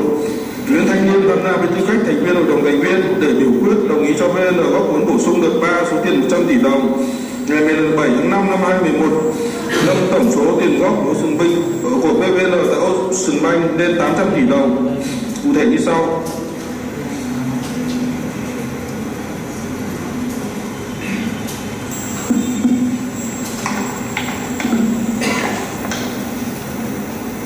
Ngày 9 tháng 5 2011, Ocean Bank có văn bản số 165 gửi PVN điều chỉnh kế hoạch tăng vốn điều lệ từ 3.500 tỷ đồng lên 4.000 tỷ đồng và đề nghị PVN tiếp tục góp thêm 100 tỷ đồng mua 20% cổ phần tăng thêm. Trước ngày 15 tháng 5 2011 căn cứ văn bản à, số 165 của ông Dịch Banh Nguyễn Xuân Sơn, Phó Tổng Giám đốc phụ trách tài chính kế toán đã ký văn bản nội bộ số 124 ngày 12 tháng 5 2011 gửi hội đồng thành viên trong đó có Nguyễn Thanh Liêm đề nghị xem xét và chấp thuận tiếp tục hỗ trợ Ocean Bank tăng vốn điều lệ tổng mức tối đa 20% vào Ocean Bank với số vốn tăng thêm là 100 tỷ đồng trước ngày 15 tháng 5 2011. Ngày 13 tháng 5 2011, Nguyễn Thanh Liêm đã có bút phê nội dung đồng ý như đề xuất và đề ngày 13 tháng 5 2011 trên văn bản số 124 và chuyển lại thư ký hội đồng thành viên để tập hợp ý kiến của hội đồng thành viên. Sau khi Nguyễn Thanh Liêm cùng cùng thành viên hội đồng thành viên biểu quyết trên văn bản xin ý kiến của Nguyễn Xuân Sơn thì Nguyễn Xuân Thắng, thành viên hội đồng thành viên, được Đinh La Thăng, chủ tịch hội đồng thành viên ủy quyền, đã ký ban hành nghị quyết số 4266 ngày 16 tháng 5 2011 chấp thuận phương án điều chỉnh vốn điều lệ của Ocean Bank từ 5.000 tỷ đồng xuống 4.000 tỷ đồng và PVN nắm giữ 20% vốn điều lệ giao tổng giám đốc, chỉ đạo các ban có liên quan thực hiện việc góp vốn. Theo điều lệ năm 2011 của PVN và quy chế làm việc của hội đồng quản trị PVN thì việc quyết định đầu tư ra ngoài PVN thuộc thẩm quyền của hội đồng thành viên, các thành viên hội đồng thành viên có ý kiến về các vấn đề được lấy ý kiến. Chủ tịch hội đồng thành viên và các thành viên hội đồng thành viên có nghĩa vụ tuân thủ pháp luật, điều lệ tổ chức hoạt động của PVN, quyết định của chủ sở hữu PVN trong việc thực hiện các quyền nghĩa vụ được giao. Tại khoản 3 điều 5 và khoản 1 khoản 2 điều 28 điều lệ quy định, thành viên hội đồng thành viên có nghĩa vụ tuân thủ pháp luật và cùng chịu trách nhiệm trước Thủ tướng trước pháp luật về các quyết định của hội đồng thành viên gây thiệt hại cho PVN và chủ sở hữu. Các thành viên hội đồng thành viên cùng chịu trách nhiệm trước Thủ tướng và trước pháp luật về các quyết định của hội đồng thành viên về kết quả và hiệu quả của hoạt động của PVN. Là thành viên hội đồng thành viên, bị cáo phải biết được đầu tư ra ngoài công ty mẹ trong lĩnh vực ngân hàng phải báo cáo chính phủ và phải trình chính phủ phê duyệt theo quy định tại khoản 3 điều 27 À, quy chế quản lý tài chính ban hành kèm theo nghị định 142 ngày 5 tháng 9 năm 2007 của Chính phủ và chỉ đạo của Thủ tướng Chính phủ tại công văn số 3780 ngày 6 tháng 6 năm 2008 khi luật các tổ chức tín dụng năm 2010 có hiệu lực pháp luật, bị cáo phải nhận thức được việc góp vốn bổ sung vào Ocean Bank để duy trì tỷ lệ sở hữu. 20% vốn điều lệ là trái quy định tại khoản 2 điều 55 luật các tổ chức tín dụng 2010, nhưng bị cáo vẫn tham gia biểu quyết đồng ý để ban hành chủ trương bổ sung góp bổ sung 100 tỷ đồng theo nghị quyết 4266 ngày 16 tháng 5 2011 nâng tổng số vốn góp của PVN tại Ocean Bank lên 800 tỷ đồng, duy duy trì tỷ lệ 20% vốn điều lệ là trái với quy định tại khoản 2 điều 55 luật các tổ chức tín dụng 2010 một cổ đông là tổ chức không được sở hữu vượt quá 15% vốn điều lệ của một tổ chức tín dụng. Sau khi có nghị quyết bị cáo để mặc cho tổng giám đốc kế toán trưởng thực hiện việc chuyển tiền góp vốn 100 tỷ đồng của PVN vào Ocean Bank hành vi này là hành vi cố ý làm trái trong việc PVN góp vốn của vốn vào OGB hành vi cố ý làm trái nêu trên của Nguyễn Thanh Liêm đã vi phạm quy định tại khoản 3 điều 27 quy chế quản lý tài chính công ty mẹ tập đoàn dầu khí Việt Nam ban hành kèm theo nghị định số 142 ngày 5 tháng 9 2007 của Chính phủ khoản 2 điều 55 luật các tổ chức tín dụng năm 2010 và trái với chỉ đạo thủ, của Thủ tướng Chính phủ tại công văn 3780 ngày 6 tháng 6 2008 của Văn phòng Chính phủ. Hành vi vi phạm của Nguyễn Thanh Liêm đã gây thiệt hại cho PVN là 100 tỷ đồng. 7. Phan Đình Đức được Thủ tướng Chính phủ bổ nhiệm là thành viên hội đồng thành viên Tập đoàn Dầu khí Việt Nam từ tháng 11 2010 đến nay, Phan Đình Đức đã ký biểu quyết đồng ý trên văn bản số 124 ngày 12 tháng 5 2011 chấp thuận việc PVN tiếp tục hỗ trợ tăng vốn điều lệ mức tối đa 20% vào Ocean Bank với số vốn tăng thêm 500 với số vốn tăng thêm 100 tỷ đồng để hội đồng thành viên PVN ban hành nghị 4266 ngày 16 tháng 5 2011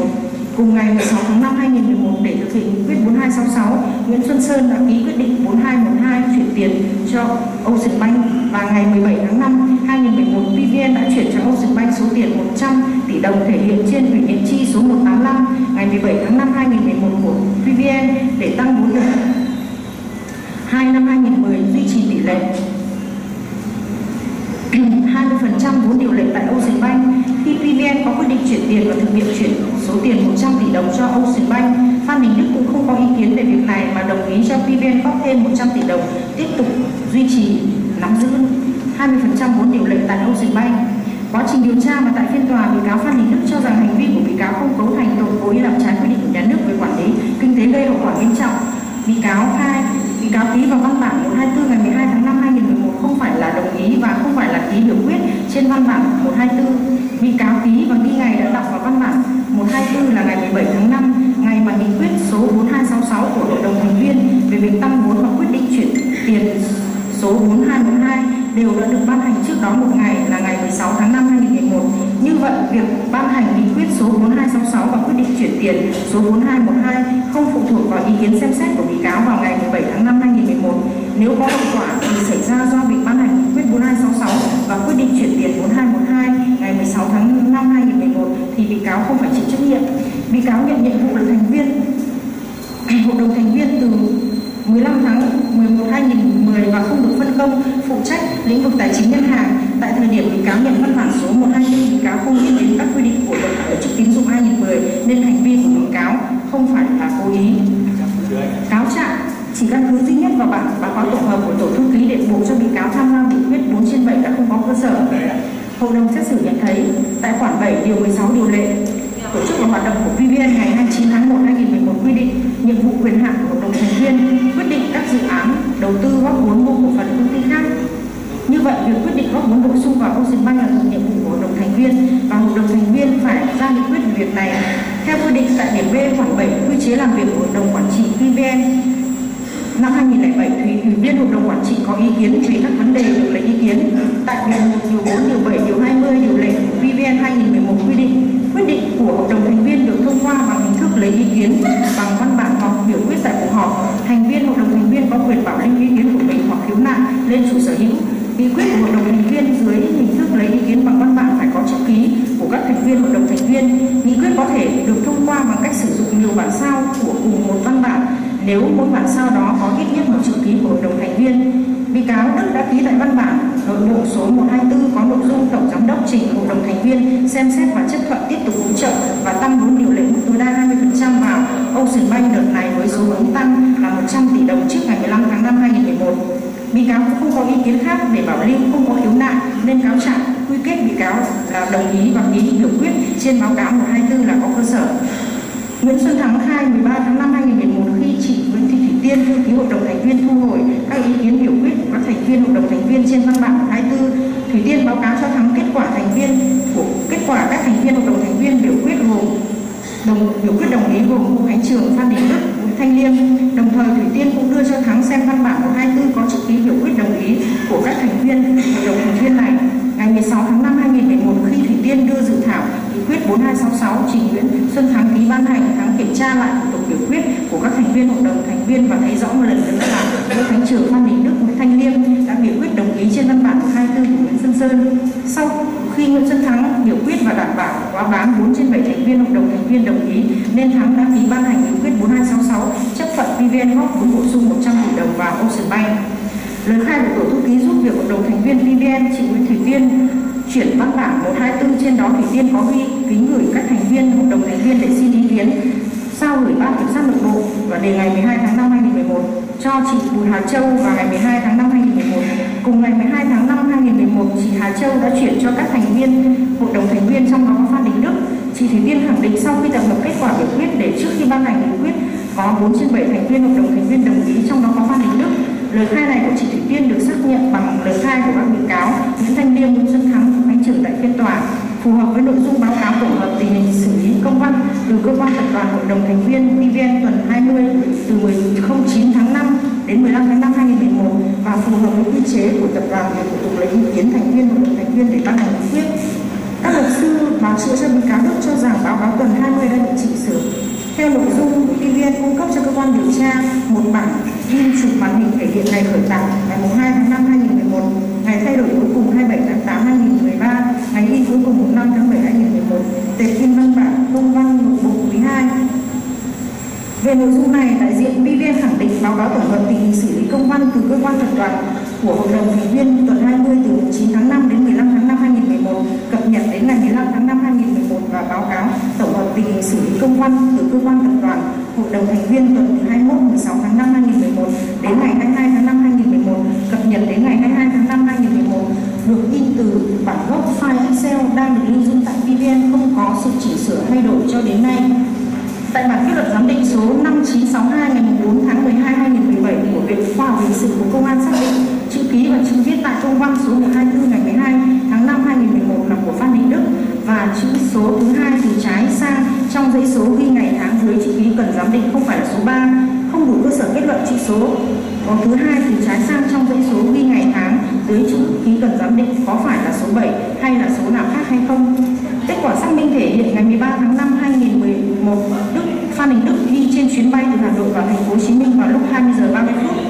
Như vậy, theo lời khai của người làm chứng, lời khai của thành viên hội đồng thành viên, kết quả điều tra thu thập chứng cứ, kết quả tranh tụng tại phiên tòa có đủ cơ sở khẳng định, báo cáo tổng hợp tình hình xử lý công văn từ cơ quan tập đoàn hội đồng thành viên tuần 20 từ mùng 9 tháng 5 đến ngày 15 tháng 5 2011 về tình hình xử lý văn bản số 124 ngày 12 tháng 5 2011 thì thời điểm 15 tháng 5 2011 có trên 50% ý kiến biểu quyết đồng ý của hội đồng thành viên PVN 4 trên 7 trong đó có Phan Đình Đức là thành viên hội đồng thành viên cáo phải biết việc đầu tư ra ngoài. Công ty mẹ trong lĩnh vực ngân hàng phải báo cáo thủ chiến tướng chính phủ và trình chính phủ phê duyệt theo quy định tại khoản 3 điều 7 quy chế kèm nghị định 142 và theo chỉ đạo của công, chỉ đạo của thủ tướng chính phủ tại công văn 3780 tại khoản 1 điều 28 điều lệ 5 của PVN năm 2011 thành viên hội đồng thành viên có nghĩa vụ tuân thủ pháp luật. Khi luật các tổ chức tín dụng 2010 có hiệu lực pháp luật bị cáo Phan Đình Đức phải nhận thức được việc góp vốn bổ sung vào Ocean Bank để duy trì tỷ lệ sở hữu 20% vốn điều lệ là trái quy định tại khoản 2 điều 55 luật các tổ chức tín dụng 2010 nhưng biểu quyết nhưng bị cáo vẫn tham gia biểu quyết để đồng ý ban hành chủ trương góp vốn 100 tỷ đồng theo nghị quyết 4266 ngày 16 tháng 5 2011 nâng tổng số vốn góp của PVN tại Ocean Bank lên 800 tỷ đồng bằng 20% vốn điều lệ. Của Ocean Bank là trái quy định tại khoản 2 điều 55 luật các tổ chức tín dụng 2010 một cổ đông là tổ chức không được sở hữu vượt quá 15% vốn điều lệ của một tổ chức tín dụng. Sau khi có nghị quyết, bị cáo để mặc cho các tổng giám đốc và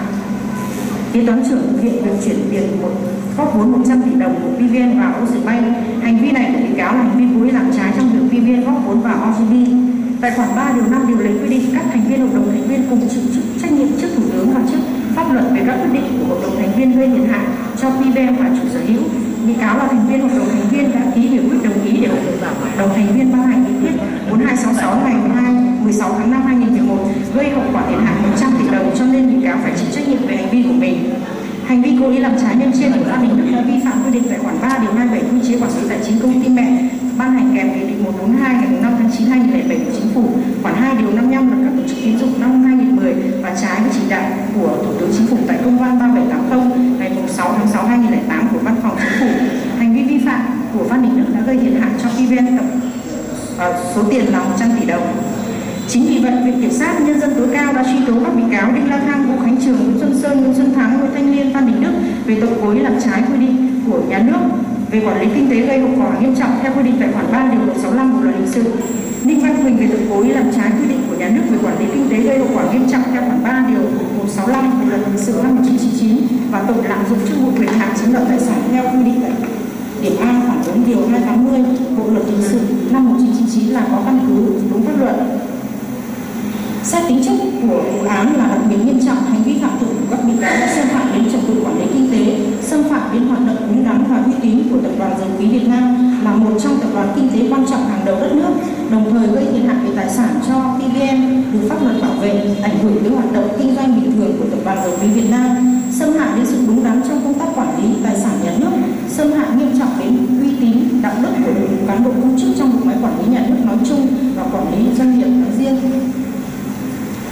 ảnh hưởng đến niềm tin của quần chúng nhân dân về hiệu quả hoạt động của các doanh nghiệp nhà nước và tạo dư luận xấu trong xã hội. Các bị cáo đã thực hiện hành vi vi phạm pháp luật khi ra các quyết định trái ra quyết định trái quy định của nhà nước về quản lý kinh tế dẫn đến hậu quả PVN mất vốn 800 tỷ đồng, gây thiệt hại đặc biệt lớn cho nhà nước. Ngoài hành vi cố ý làm trái quy định của nhà nước về quản lý kinh tế gây hậu quả nghiêm trọng, bị cáo Ninh Văn Quỳnh còn thực hiện hành vi đặc biệt nguy hiểm cho xã hội. Bị cáo đã lợi dụng chức vụ quyền hạn được giao chiếm đoạt số tài sản đặc biệt lớn 20 tỷ đồng. Hành vi của bị cáo xâm phạm đến tài sản của nhà nước và tính thanh liêm của cán bộ công chức. Do vậy, đối với các bị cáo cần phải đưa ra xét xử nghiêm khắc trước pháp luật mới có tác dụng cải tạo giáo dục. Đối với các bị cáo cũng như đáp ứng yêu cầu răn đe đấu tranh và phòng ngừa loại tội phạm này nói chung về vai trò nhân thân và các tình tiết giảm nhẹ trách nhiệm hình sự của từng bị cáo được đánh giá như sau. Đối với nhóm các bị cáo phạm tội cố ý làm trái quy định của nhà nước về quản lý kinh tế gây hậu quả nghiêm trọng, bị cáo Đinh Văn Thăng giữ vai trò chính trong vụ án. Bị cáo là người đưa ra chủ trương trong việc cố ý làm trái để cho các bị cáo khác thực hiện hành vi phạm tội. Hành vi phạm tội của bị cáo gây hậu quả đặc biệt lớn với số tiền 800 tỷ đồng cho tập đoàn dầu khí Việt Nam. Bị cáo có nhân thân tốt chưa có tiền án tiền sự, thành khẩn khai báo một phần. Bị cáo từng giữ nhiều vị trí cao trong công tác, được tặng, tặng thưởng nhiều danh hiệu cao quý của nhà nước, nên bị cáo được hưởng các tình tiết giảm nhẹ trách nhiệm hình sự quy định tại điểm S, điểm v khoản 1 khoản 2, điều 51 Bộ luật hình sự năm 2015. Bị cáo Ninh Văn Quỳnh phạm tội với vai trò đồng phạm cùng các bị cáo khác thực hiện hành vi cố ý làm trái quy định của nhà nước về quản lý kinh tế gây hậu quả nghiêm trọng. Hành vi phạm tội của bị cáo gây hậu quả đặc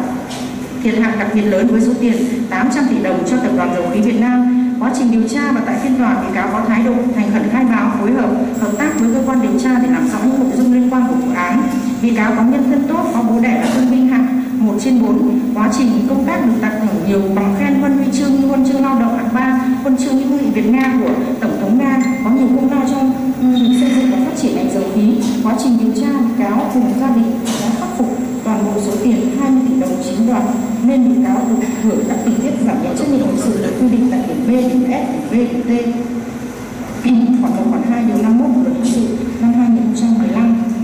Bị cáo Vũ Khánh Trường phạm tội với vai trò đồng phạm cùng các bị cáo khác thực hiện hành vi cố ý làm trái quy định của nhà nước về quản lý kinh tế gây hậu quả nghiêm trọng. Hành vi phạm tội của bị cáo gây hậu quả thiệt hại đặc biệt lớn với số tiền 400 tỷ đồng cho tập đoàn dầu khí Việt Nam. Tại cơ quan điều tra và tại phiên độ khai báo thành khẩn tích cực hợp tác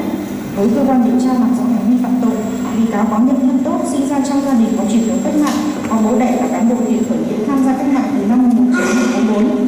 đảng viên 65 tuổi đảng, mẹ là đảng viên trên 55 tuổi đảng. Bản thân bị cáo có quá trình công tác tốt, có nhiều đóng góp cho ngành dầu khí được tặng thưởng nhiều danh hiệu của nhà nước như huân chương lao động hạng nhất, nhì ba và các danh hiệu khác của chính phủ, bộ công thương nên bị cáo được hưởng các tình tiết giảm nhẹ trách nhiệm hình sự được quy định tại điểm STV khoảng 1, khoảng 2 điều 51 Bộ luật hình sự năm 2015. Bị cáo Nguyễn Xuân Sơn phạm tội với vai trò đồng phạm cùng các bị cáo khác vì hành vi cố ý làm trái quy định của nhà nước về quản lý kinh tế gây hậu quả nghiêm trọng. Hành vi phạm tội của bị cáo gây hậu quả thiệt hại đặc biệt lớn với số tiền 100 tỷ đồng cho tập đoàn dầu khí Việt Nam. Quá trình điều tra và tại phiên tòa, bị cáo có thái độ khai báo thành khẩn tích cực hợp tác với cơ quan điều tra làm rõ hành vi phạm tội, nhân thân bị cáo chưa có tiền án tiền sự. Quá trình công tác, bị cáo đạt nhiều thành tích được tặng thưởng nhiều danh hiệu thi đua nên bị cáo được hưởng các tình tiết giảm nhẹ trách nhiệm hình sự. Quy định tại điểm STV khoản 1 khoản 2 điều 51 Bộ luật hình sự 2015 bị cáo Nguyễn Xuân Thắng phạm tội với vai trò đồng phạm cùng các bị cáo khác thực hiện hành vi cố ý làm trái quy định của nhà nước về quản lý kinh tế gây hậu quả nghiêm trọng. Hành vi phạm tội của bị cáo đã gây hậu quả thiệt hại đặc đặc biệt lớn với số tiền 100 tỷ đồng cho tập đoàn dầu khí Việt Nam quá trình điều tra và tại phiên tòa bị cáo có thái độ khai báo thành khẩn khẩn, tích cực hợp tác làm rõ các nội dung liên quan đến vụ án. Bị cáo có nhân thân tốt, gia đình có, anh trai là liệt sĩ trong kháng chiến chống mỹ cứu nước, bố vợ là thương binh. Bị cáo có quá trình công tác tốt được tặng thưởng nhiều danh hiệu cao quý của nhà nước, chính của chính phủ. Huân chương lao động và nhất nhì ba chiến sĩ thi đua toàn ngành có nhiều thành tích trong việc xây dựng và phát triển ngành dầu khí. Nên bị cáo được hưởng các tình tiết giảm nhẹ trách nhiệm hình sự quy định tại điểm STV khoản 1 khoản 2 điều 51 Bộ luật hình sự năm 2015 bị cáo Nguyễn Thanh Liêm phạm tội với vai trò đồng phạm cùng các bị cáo khác thực hiện hành vi cố ý làm trái quy định của nhà nước về quản lý kinh tế, gây hậu quả nghiêm trọng. Hành vi phạm tội của bị cáo gây hậu quả đặc biệt ờ, thiệt hại đặc biệt lớn với số tiền 100 tỷ đồng cho tập đoàn dầu khí Việt Nam. Tại cơ quan điều tra và tại phiên tòa, bị cáo có thái độ khai báo thành khẩn, tích cực hợp tác với cơ quan ờ, điều tra để làm rõ nội dung liên quan của vụ án. Bị cáo có nhân thân tốt gia đình có truyền thống cách mạng, cả bố mẹ đều là liệt sĩ trong kháng chiến chống mỹ. Quá trình công tác bị cáo được đảng và nhà nước hưởng nhiều danh hiệu huân huy chương sức khỏe hiện tại của bị cáo cũng bị ảnh hưởng của chiến tranh đi lại khó khăn do bị biệt kích mỹ nổ mìn tại gia đình khi còn nhỏ mẹ và chị gái chết còn bị cáo bị thương tật nên bị cáo được hưởng tình tiết giảm nhẹ trách nhiệm hình sự được quy định tại các điểm S, T, V, X khoảng 1 khoảng 2 điều 51 Bộ luật hình sự 2015. Bị cáo Phan Đình Đức phạm tội với vai trò đồng phạm cùng các bị cáo khác thực hiện hành vi cố làm trái quy định của nhà nước về quản lý kinh tế gây hậu quả nghiêm trọng. Hành vi phạm tội của bị cáo gây hậu quả thiệt hại đặc biệt lớn với số tiền 100 tỷ đồng cho tập đoàn dầu khí Việt Nam. Tại phiên tòa, bị cáo thành khẩn khai báo hành vi của mình, tích cực hợp tác với cơ quan điều tra để làm rõ những nội dung liên quan đến vụ án. Bị cáo có nhân thân tốt, gia đình có bề dày truyền thống cách mạng, bố mẹ bác của bị cáo đều là những người tiền người tiền bối của cách mạng và có nhiều đóng góp trong quá trình uh, xây dựng bảo vệ tổ quốc bảo vệ đất nước bị cáo được đảng và nhà nước tặng thưởng nhiều danh hiệu huân huy chương, có nhiều thành tích trong việc xây dựng phát triển ngành dầu khí, nên bị cáo được hưởng các tình tiết giảm nhẹ trách nhiệm hình sự quy định tại điểm STV khoảng 1 khoảng 2 điều 51 của luật hình sự năm 2015 đối với bị cáo Lương Đinh Văn Quỳnh phạm tội lạm dụng chức vụ quyền hạn chiếm đoạt tài sản, bị cáo cũng thành khẩn khai báo đã khắc phục số tiền toàn bộ số tiền chiếm đoạt tài sản căn cứ vào tính chất mức độ hành vi phạm tội và các tình tiết giảm nhẹ nêu trên thì bị cáo đinh la thăng phải chịu mức hình phạt cao hơn. Các bị cáo khác trong cùng vụ án mới là phù hợp. Các bị cáo đinh văn quỳnh thánh trường nguyễn xuân sơn nguyễn xuân thắng nguyễn thanh liêm phan đình đức phạm, phạm tội với vai trò đồng phạm cùng thực hiện hành vi cố ý làm trái quy định của nhà nước về quản lý kinh tế gây hậu quả nghiêm trọng. Hành vi phạm tội của các bị cáo đều gây thiệt hại đặc biệt lớn cho tập đoàn dầu khí Việt Nam. Do vậy, các bị cáo Ninh Văn Quỳnh, Thánh Trường, Nguyễn Xuân Sơn, Nguyễn Xuân Thắng, Nguyễn Thanh Liêm, Phan Đình Đức phải chịu một mức tương xứng với tính chất, vai trò của từng bị cáo. Bị cáo Ninh Văn Quỳnh còn phải chịu hình phạt về hành vi lạm dụng chức vụ quyền hạn chiếm đoạt tài sản nên cần tổng hợp hình phạt của hai tội theo quy định của pháp luật để áp dụng đối với bị cáo Quỳnh. Trong vụ án này, quyết định hình phạt hội đồng xét xử cũng xem xét đối với 6 bị cáo Ninh Văn Quỳnh, Khánh Trường, Nguyễn Xuân Sơn, Nguyễn Xuân Thắng, Nguyễn Thanh Liêm, Phan Đình Đức đều thực hiện hành vi cố ý làm trái quy định của nhà nước gây hậu quả nghiêm trọng với vai trò thứ yếu có nhiều tình tiết giảm nhẹ trách nhiệm hình sự. Bị cáo ninh văn cảnh thực hiện hành vi lạm dụng chức vụ quyền hạn chiếm đoạt tài sản nhưng đã khắc phục xong số tiền 20 tỷ đồng nên cần nên hội đồng xét xử áp dụng nghị quyết số 41 ngày 20 tháng 6 năm 2017 điều 54 bộ luật hình sự 2015 để cho các bị cáo được hưởng mức hình phạt dưới mức thấp nhất của khung hình phạt đủ tác dụng. Cải tạo giáo dục đối với các bị cáo. Đối với các bị cáo Nguyễn Thanh Liêm, Phan Đình Đức không phải là người trực tiếp ký 266 ngày 16 tháng 5 2011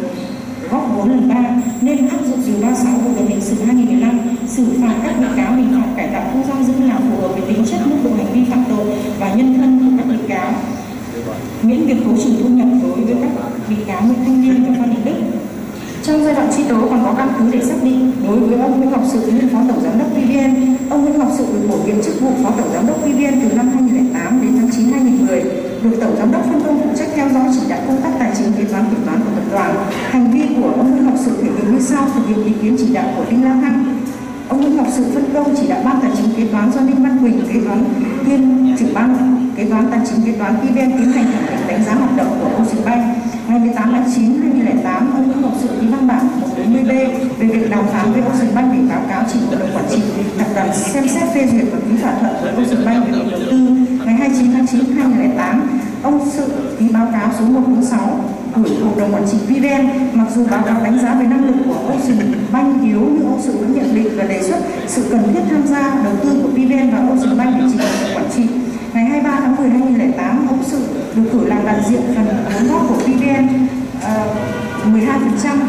tại Ocean Bank. Ngày 29 tháng 12 2008 ông Sự được cử được cử người đại diện góp vốn của VVN 20% tháng 12 2010 ông Sự thôi tham gia đại diện vốn góp của PVN vào giữ chức uh, chủ tịch hội đồng thành viên Vinasi như vậy việc đánh giá hiệu quả kinh doanh của Ocean Bank trước khi tham gia đầu tư góp vốn để tham mưu đề xuất uh, hội đồng quản trị. Quyết định đối với lần góp vốn thứ nhất và thứ hai thuộc trách nhiệm của ông Nguyễn Ngọc Sự. Đối với các thành viên hội đồng quản trị ờ, hội đồng thành viên giai đoạn 2008-2010 gồm ông Hoàng Xuân Hùng, ông Trần Ngọc Cảnh, ông Đỗ Văn Đại và Phan Thị Hòa, ông Phùng Đình Thực. Trong giai đoạn tham gia góp vốn của tập đoàn dầu khí và ngân hàng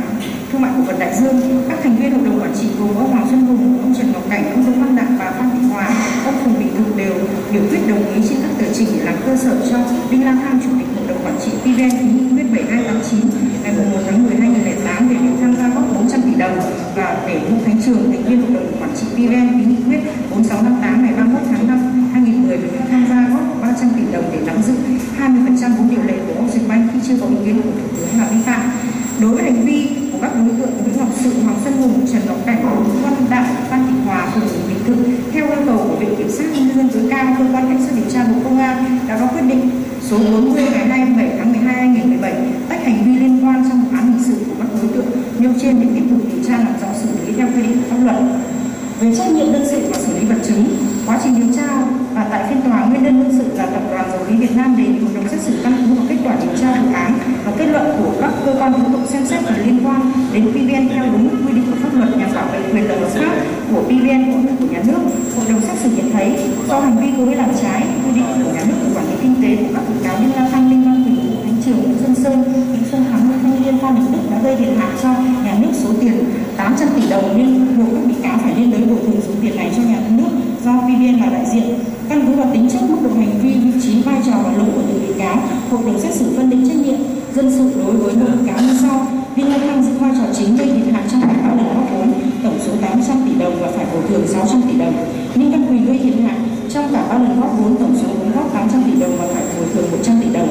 Vũ Khánh Trường gây thiệt hại trong lần góp vốn thứ hai và lần góp vốn thứ ba tổng số 400 tỷ đồng và phải bồi thường 40 tỷ đồng. Nguyễn Xuân Sơn gây thiệt hại trong lần góp vốn thứ ba số vốn góp 100 tỷ đồng và phải bồi thường 15 tỷ đồng. Nguyễn Xuân Thắng gây thiệt hại trong lần uh, góp vốn thứ ba số vốn góp 100 tỷ đồng và phải bồi thường 15 tỷ đồng. Nguyễn Thanh Liêm gây thiệt hại trong lần góp vốn thứ ba số vốn 100 tỷ đồng và phải bồi thường 15 tỷ đồng.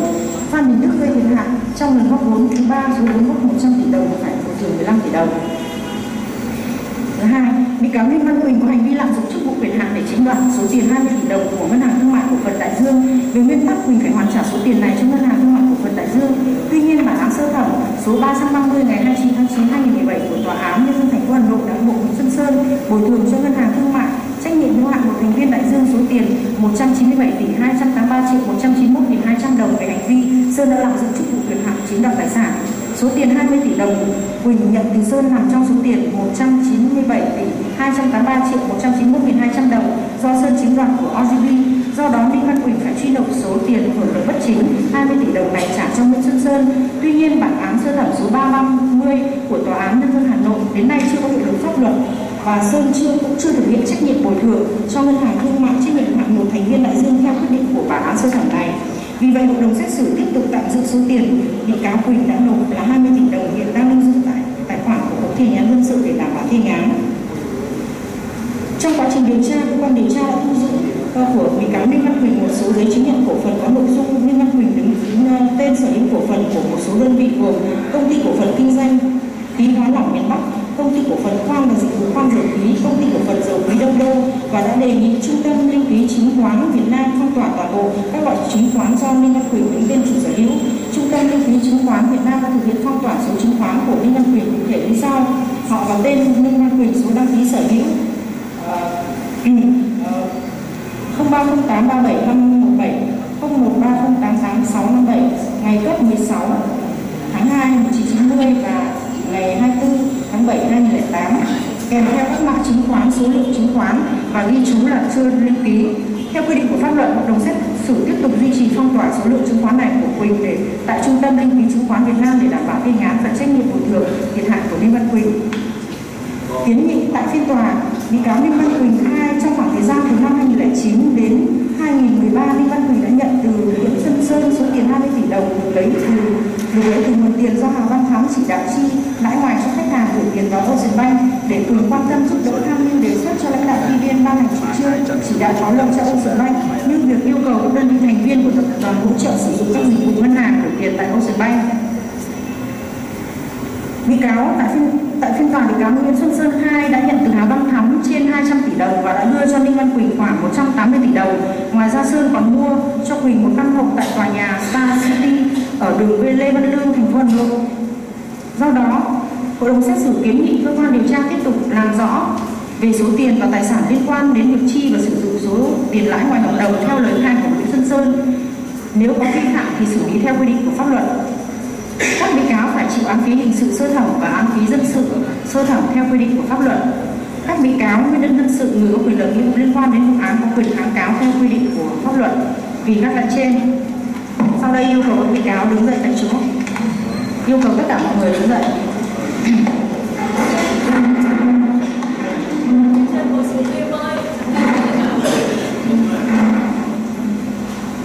Quyết định căn cứ vào các điều 45, 46, 260, 299, 326, 327, 331, 333 Bộ luật tố tụng hình sự năm 2015 căn cứ nghị quyết số 41 ngày 20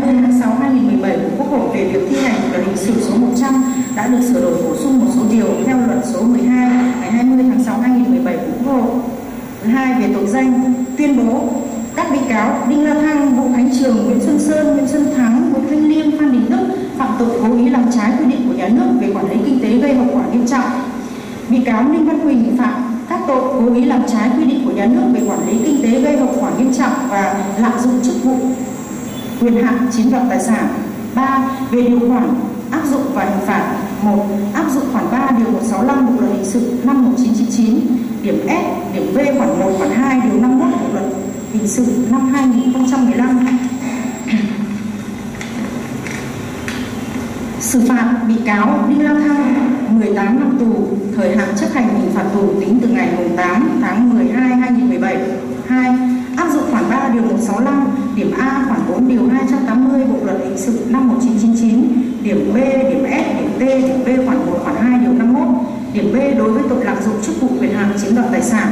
Điều 54, điều 55 Bộ luật hình sự năm 2015 xử phạt bị cáo Ninh Văn Quỳnh 7 năm tù về tội cố ý làm trái quy định của nhà nước về quản lý kinh tế gây hậu quả nghiêm trọng, 16 năm tù về tội lạm dụng chức vụ quyền hạn chiếm đoạt tài sản.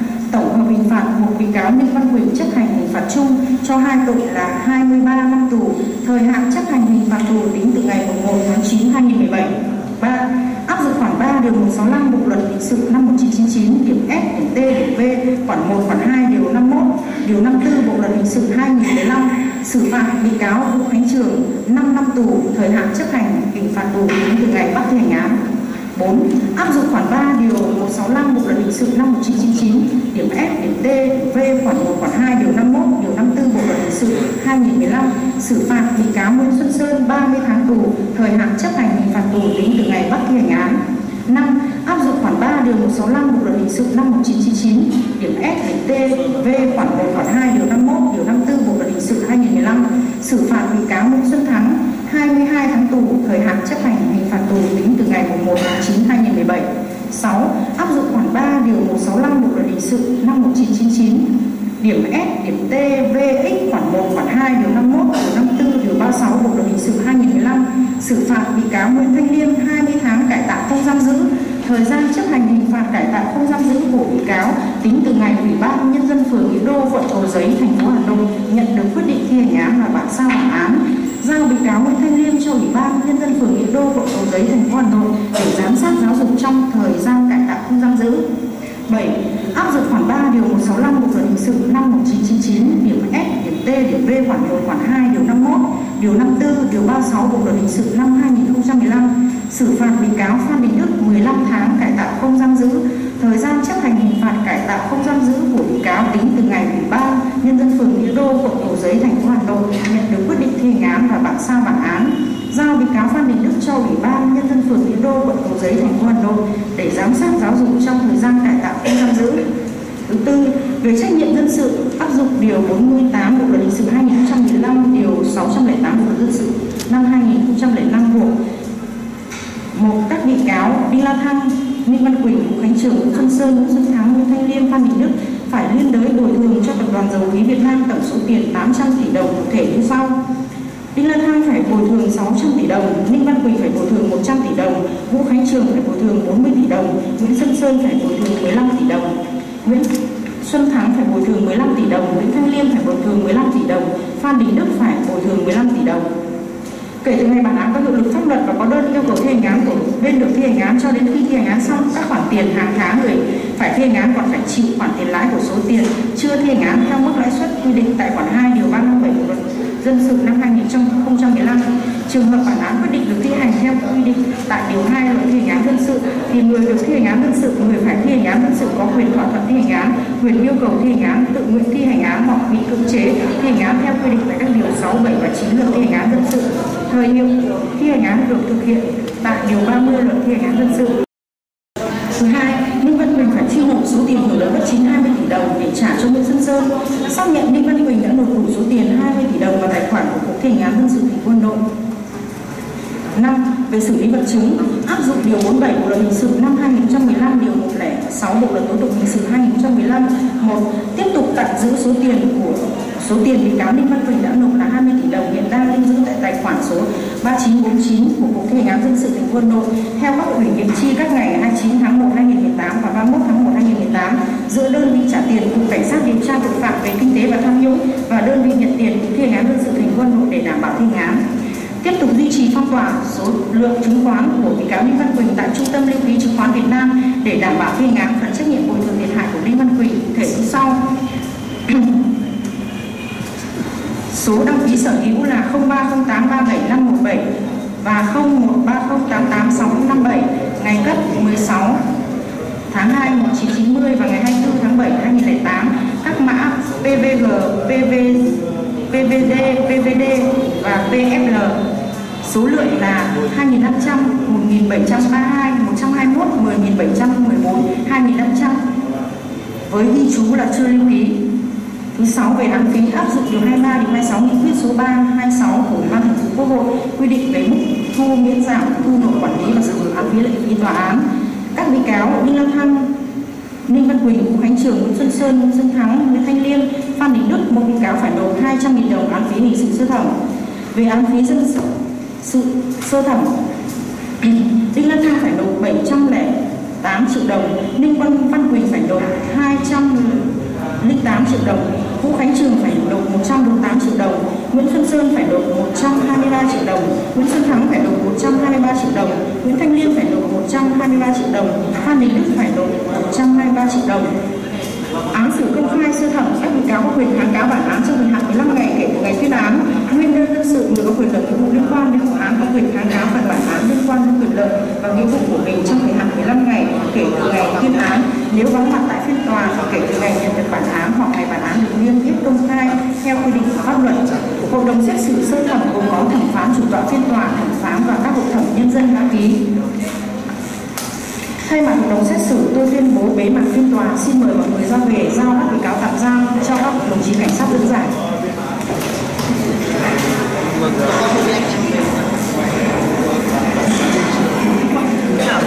Thank you.